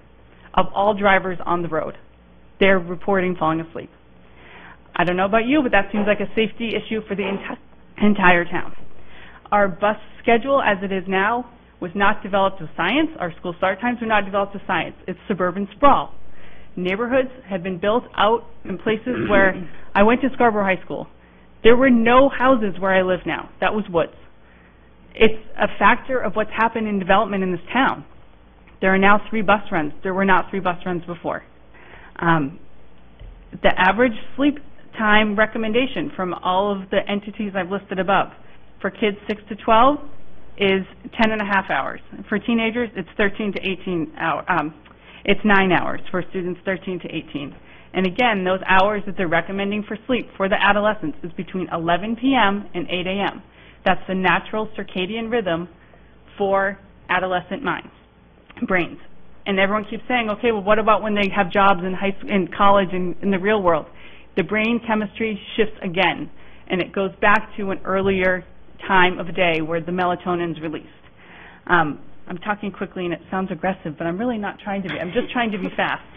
Um, the impacts of sleep deprivation among um, middle school and high school students include weight gain and eating disorders and obesity, cardiovascular problems, diabetes, reduced immunity, depression, anxiety, substance abuse, mood swings, behavior problems, suicidal ideation, and impact on brain development. It literally saves kids' lives to start school later. Literally saves lives. That is a fact borne out in the research. For me, the survey um, was a real survey. And again, we've been criti- criticized that we already made the decision, so why do the survey? Because we want to know what are the challenges, what benefits do you see, and how can we mitigate those impacts. That is a very real concern for us. And we are taking all of that into consideration in our conversations and discussions. How can we make it easier on parents that need aftercare? We've been in contact with community services. They've told us that they can accommodate aftercare in increased numbers. Um, we're finding that parents are not going to need before care in the numbers that are currently being used in our um, in our schools. It's not it's not new to us. That's why it sounds like we're very um, we're very sure of what we're saying. Um, and you know, it's an ongoing conversation. It's one we're not going to give up. It's we're trying to compress the time that everyone gets to school in a way that we can do it. It is impossible for us to buy 12, 15 buses. Not this year, not next year, not in a hundred years are we going to have in our budget 12 extra buses. For the very practical reason, uh, we can't afford it, and if we could, then we'd have to replace 12 to 15 buses on a three whatever year cycle replacement, and we wouldn't be able to afford it on the replacement years. I mean, there's like a billion reasons coursing through my mind right now why we we couldn't do that. Um, I just uh, one more thing about buses. Um, I also looked up the sunrise times for Scarborough, which is even a little further west than Portland, and the latest time, again, is like 7:14. Um, there's only one bus for primary schools right now that starts, um, it's at 8:05, it's bus 14 that goes all the way out to County Road. That is the one outlier bus. The average start time, um, first pickup for primary runs right now is 8:25. So we push that forward, um, you know, put it onto the new scenario, and kids are not going to be standing outside at 7 a.m. They're just not. Um, and we're trying to avoid that for all phase levels, and that was a goal, that no one's at a bus stop before 7 a.m. Because right now there are kids at bus stops at 6:35 in the morning. That's happening right now. That's not good for anybody of any age. Um, we're trying to do the best for all phase levels, honestly, honestly, honestly. We are not trading one problem for another. We are doing our best to make accommodations and provide the most um, appropriate and healthy learning environment between the start of school and the end of school. We have no control over anyone's extracurricular activities or what time anyone goes to bed, but it's not a parenting issue to say that high school students are not going to bed before 11. It's not. It's a brain chemistry situation, and it's real, and it shows up in countless journal articles and peer-reviewed studies, and for me, the survey results were almost tied, and in a tie, I go with science. So I support option three of the calendar. Any other comments? I really am just trying to talk fast, and I know it sounds mean, but I'm trying not to be. Um, are we ready to vote for a first reading of the school calendar? Did we, so, the, um, late starts, just one comment about that, there's only one per phase level in, on any of these, correct? Correct. And that is, uh, we're kind of taking a step back to see how those late start times are being used for professional development, and hopefully, um, addressing that again, again next year in the next calendar. Um, in the following years, there could be more or less, but right now, one per phase level. Anyone else? Okay. Okay, all in favor of option three as the first reading for the school calendar?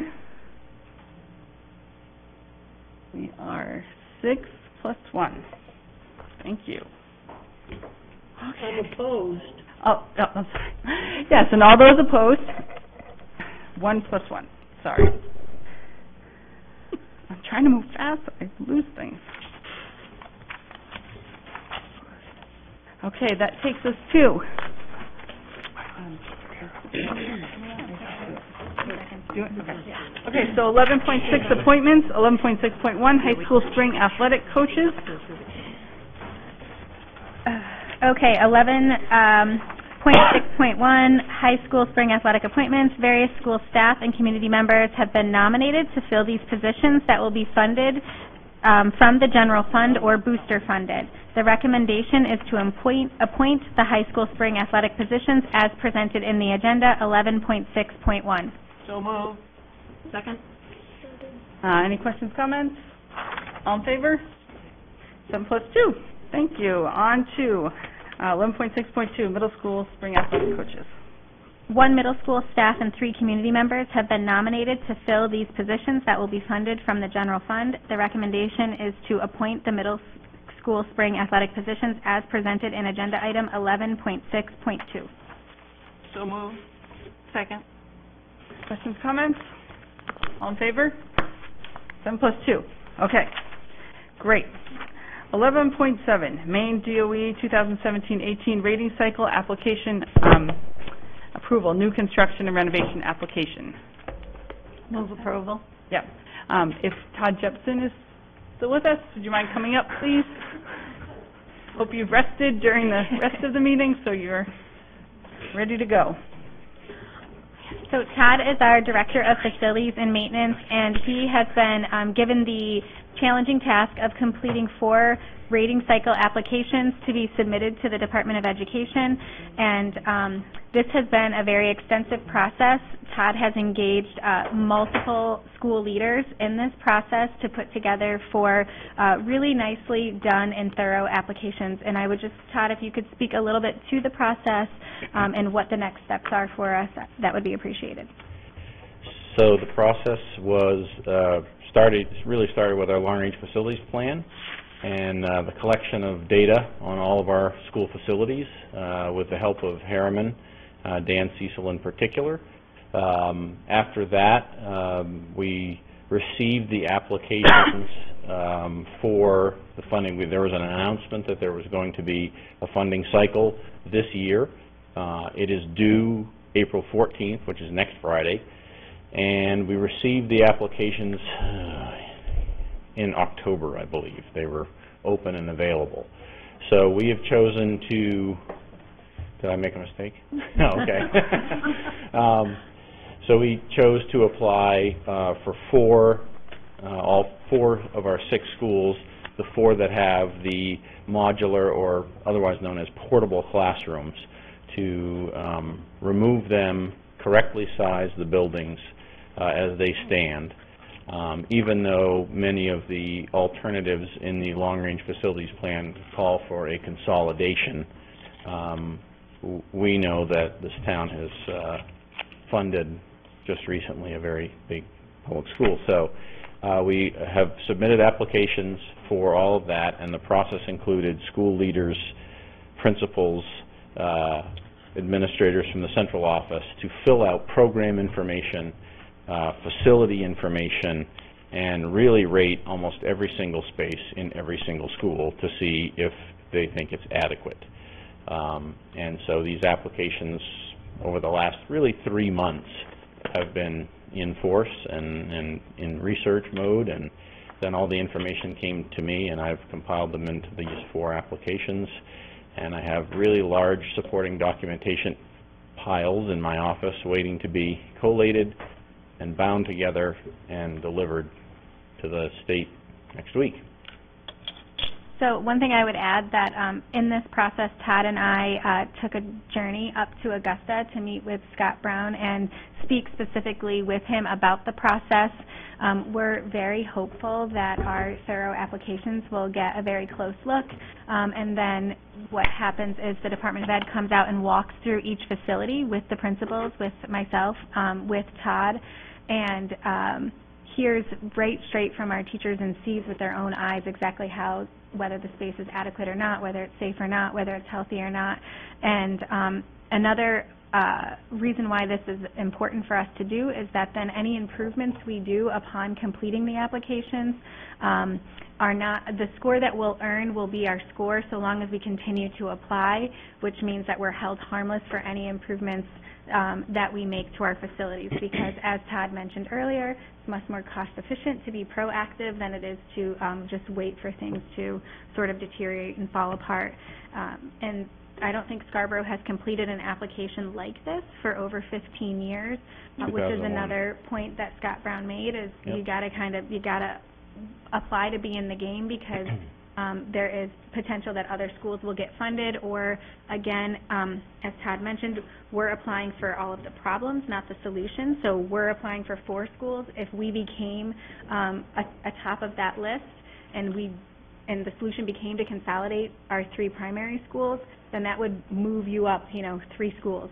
So I think that it's definitely worth our time and effort, and I just really want to thank Todd um, and our leadership for all of their hard work in, in going through the process. It was a complete team effort, and I think it's also important to note that the state doesn't offer a funding cycle every year. The last funding cycle was the 2010-2011 year, so y- you can see it's, you know, five, six, seven years in between funding cycles. Um, and I was, al- we were also told at the DOE that if we had waited to build our Wentworth school, we would have been funded this year. So it would have been seven more years in the old school, uh, if we had tried to wait and keep applying for state funding. And if you can believe that, I have a bridge I'll tell you. We were told twice, don't bother to apply, because there wasn't enough money and we would never have made the list, so. We were number 78 on a list of 92 the last time Wentworth was applied for in 2001. So, But I think that this is a symbol of how, how dedicated our leadership is to our mission to truly do whatever it takes. We are seeking every possible avenue we can um, to bring uh, financial support for, to our town so that our schools can have the very best possible facilities and education possible. So I commend our leadership for all of their hard work. And and thank you for all the uh, support you gave for these applications, because it was a lot. Thank you. Motion to approve. Second. Okay, any? dis- Approve all four Yes. in all one fell swoop? Yes. Okay. Just want to Any clarify. comments or? On I record. just want to, I just would like to thank everyone who took the time to do this, because it's a, a ton of work, I can imagine. Um, and I think, I think it's great that you've, you've gone up to Augusta and you've, you've spoke to the people that need to hear from us, and I'm hopeful. And just so- so the people know, Scott Brown is, is with the Department of Education. We've mentioned his name, we didn't say what his, Mm-hmm. his role Any, anyone else? Okay, all in favor of approving all four applications? Seven plus two, and it is ten o'clock. Twelve oh, adjournment. Do I have a motion? So moved. To adjourn. Second. All in favor? We are adjourned. Thank you.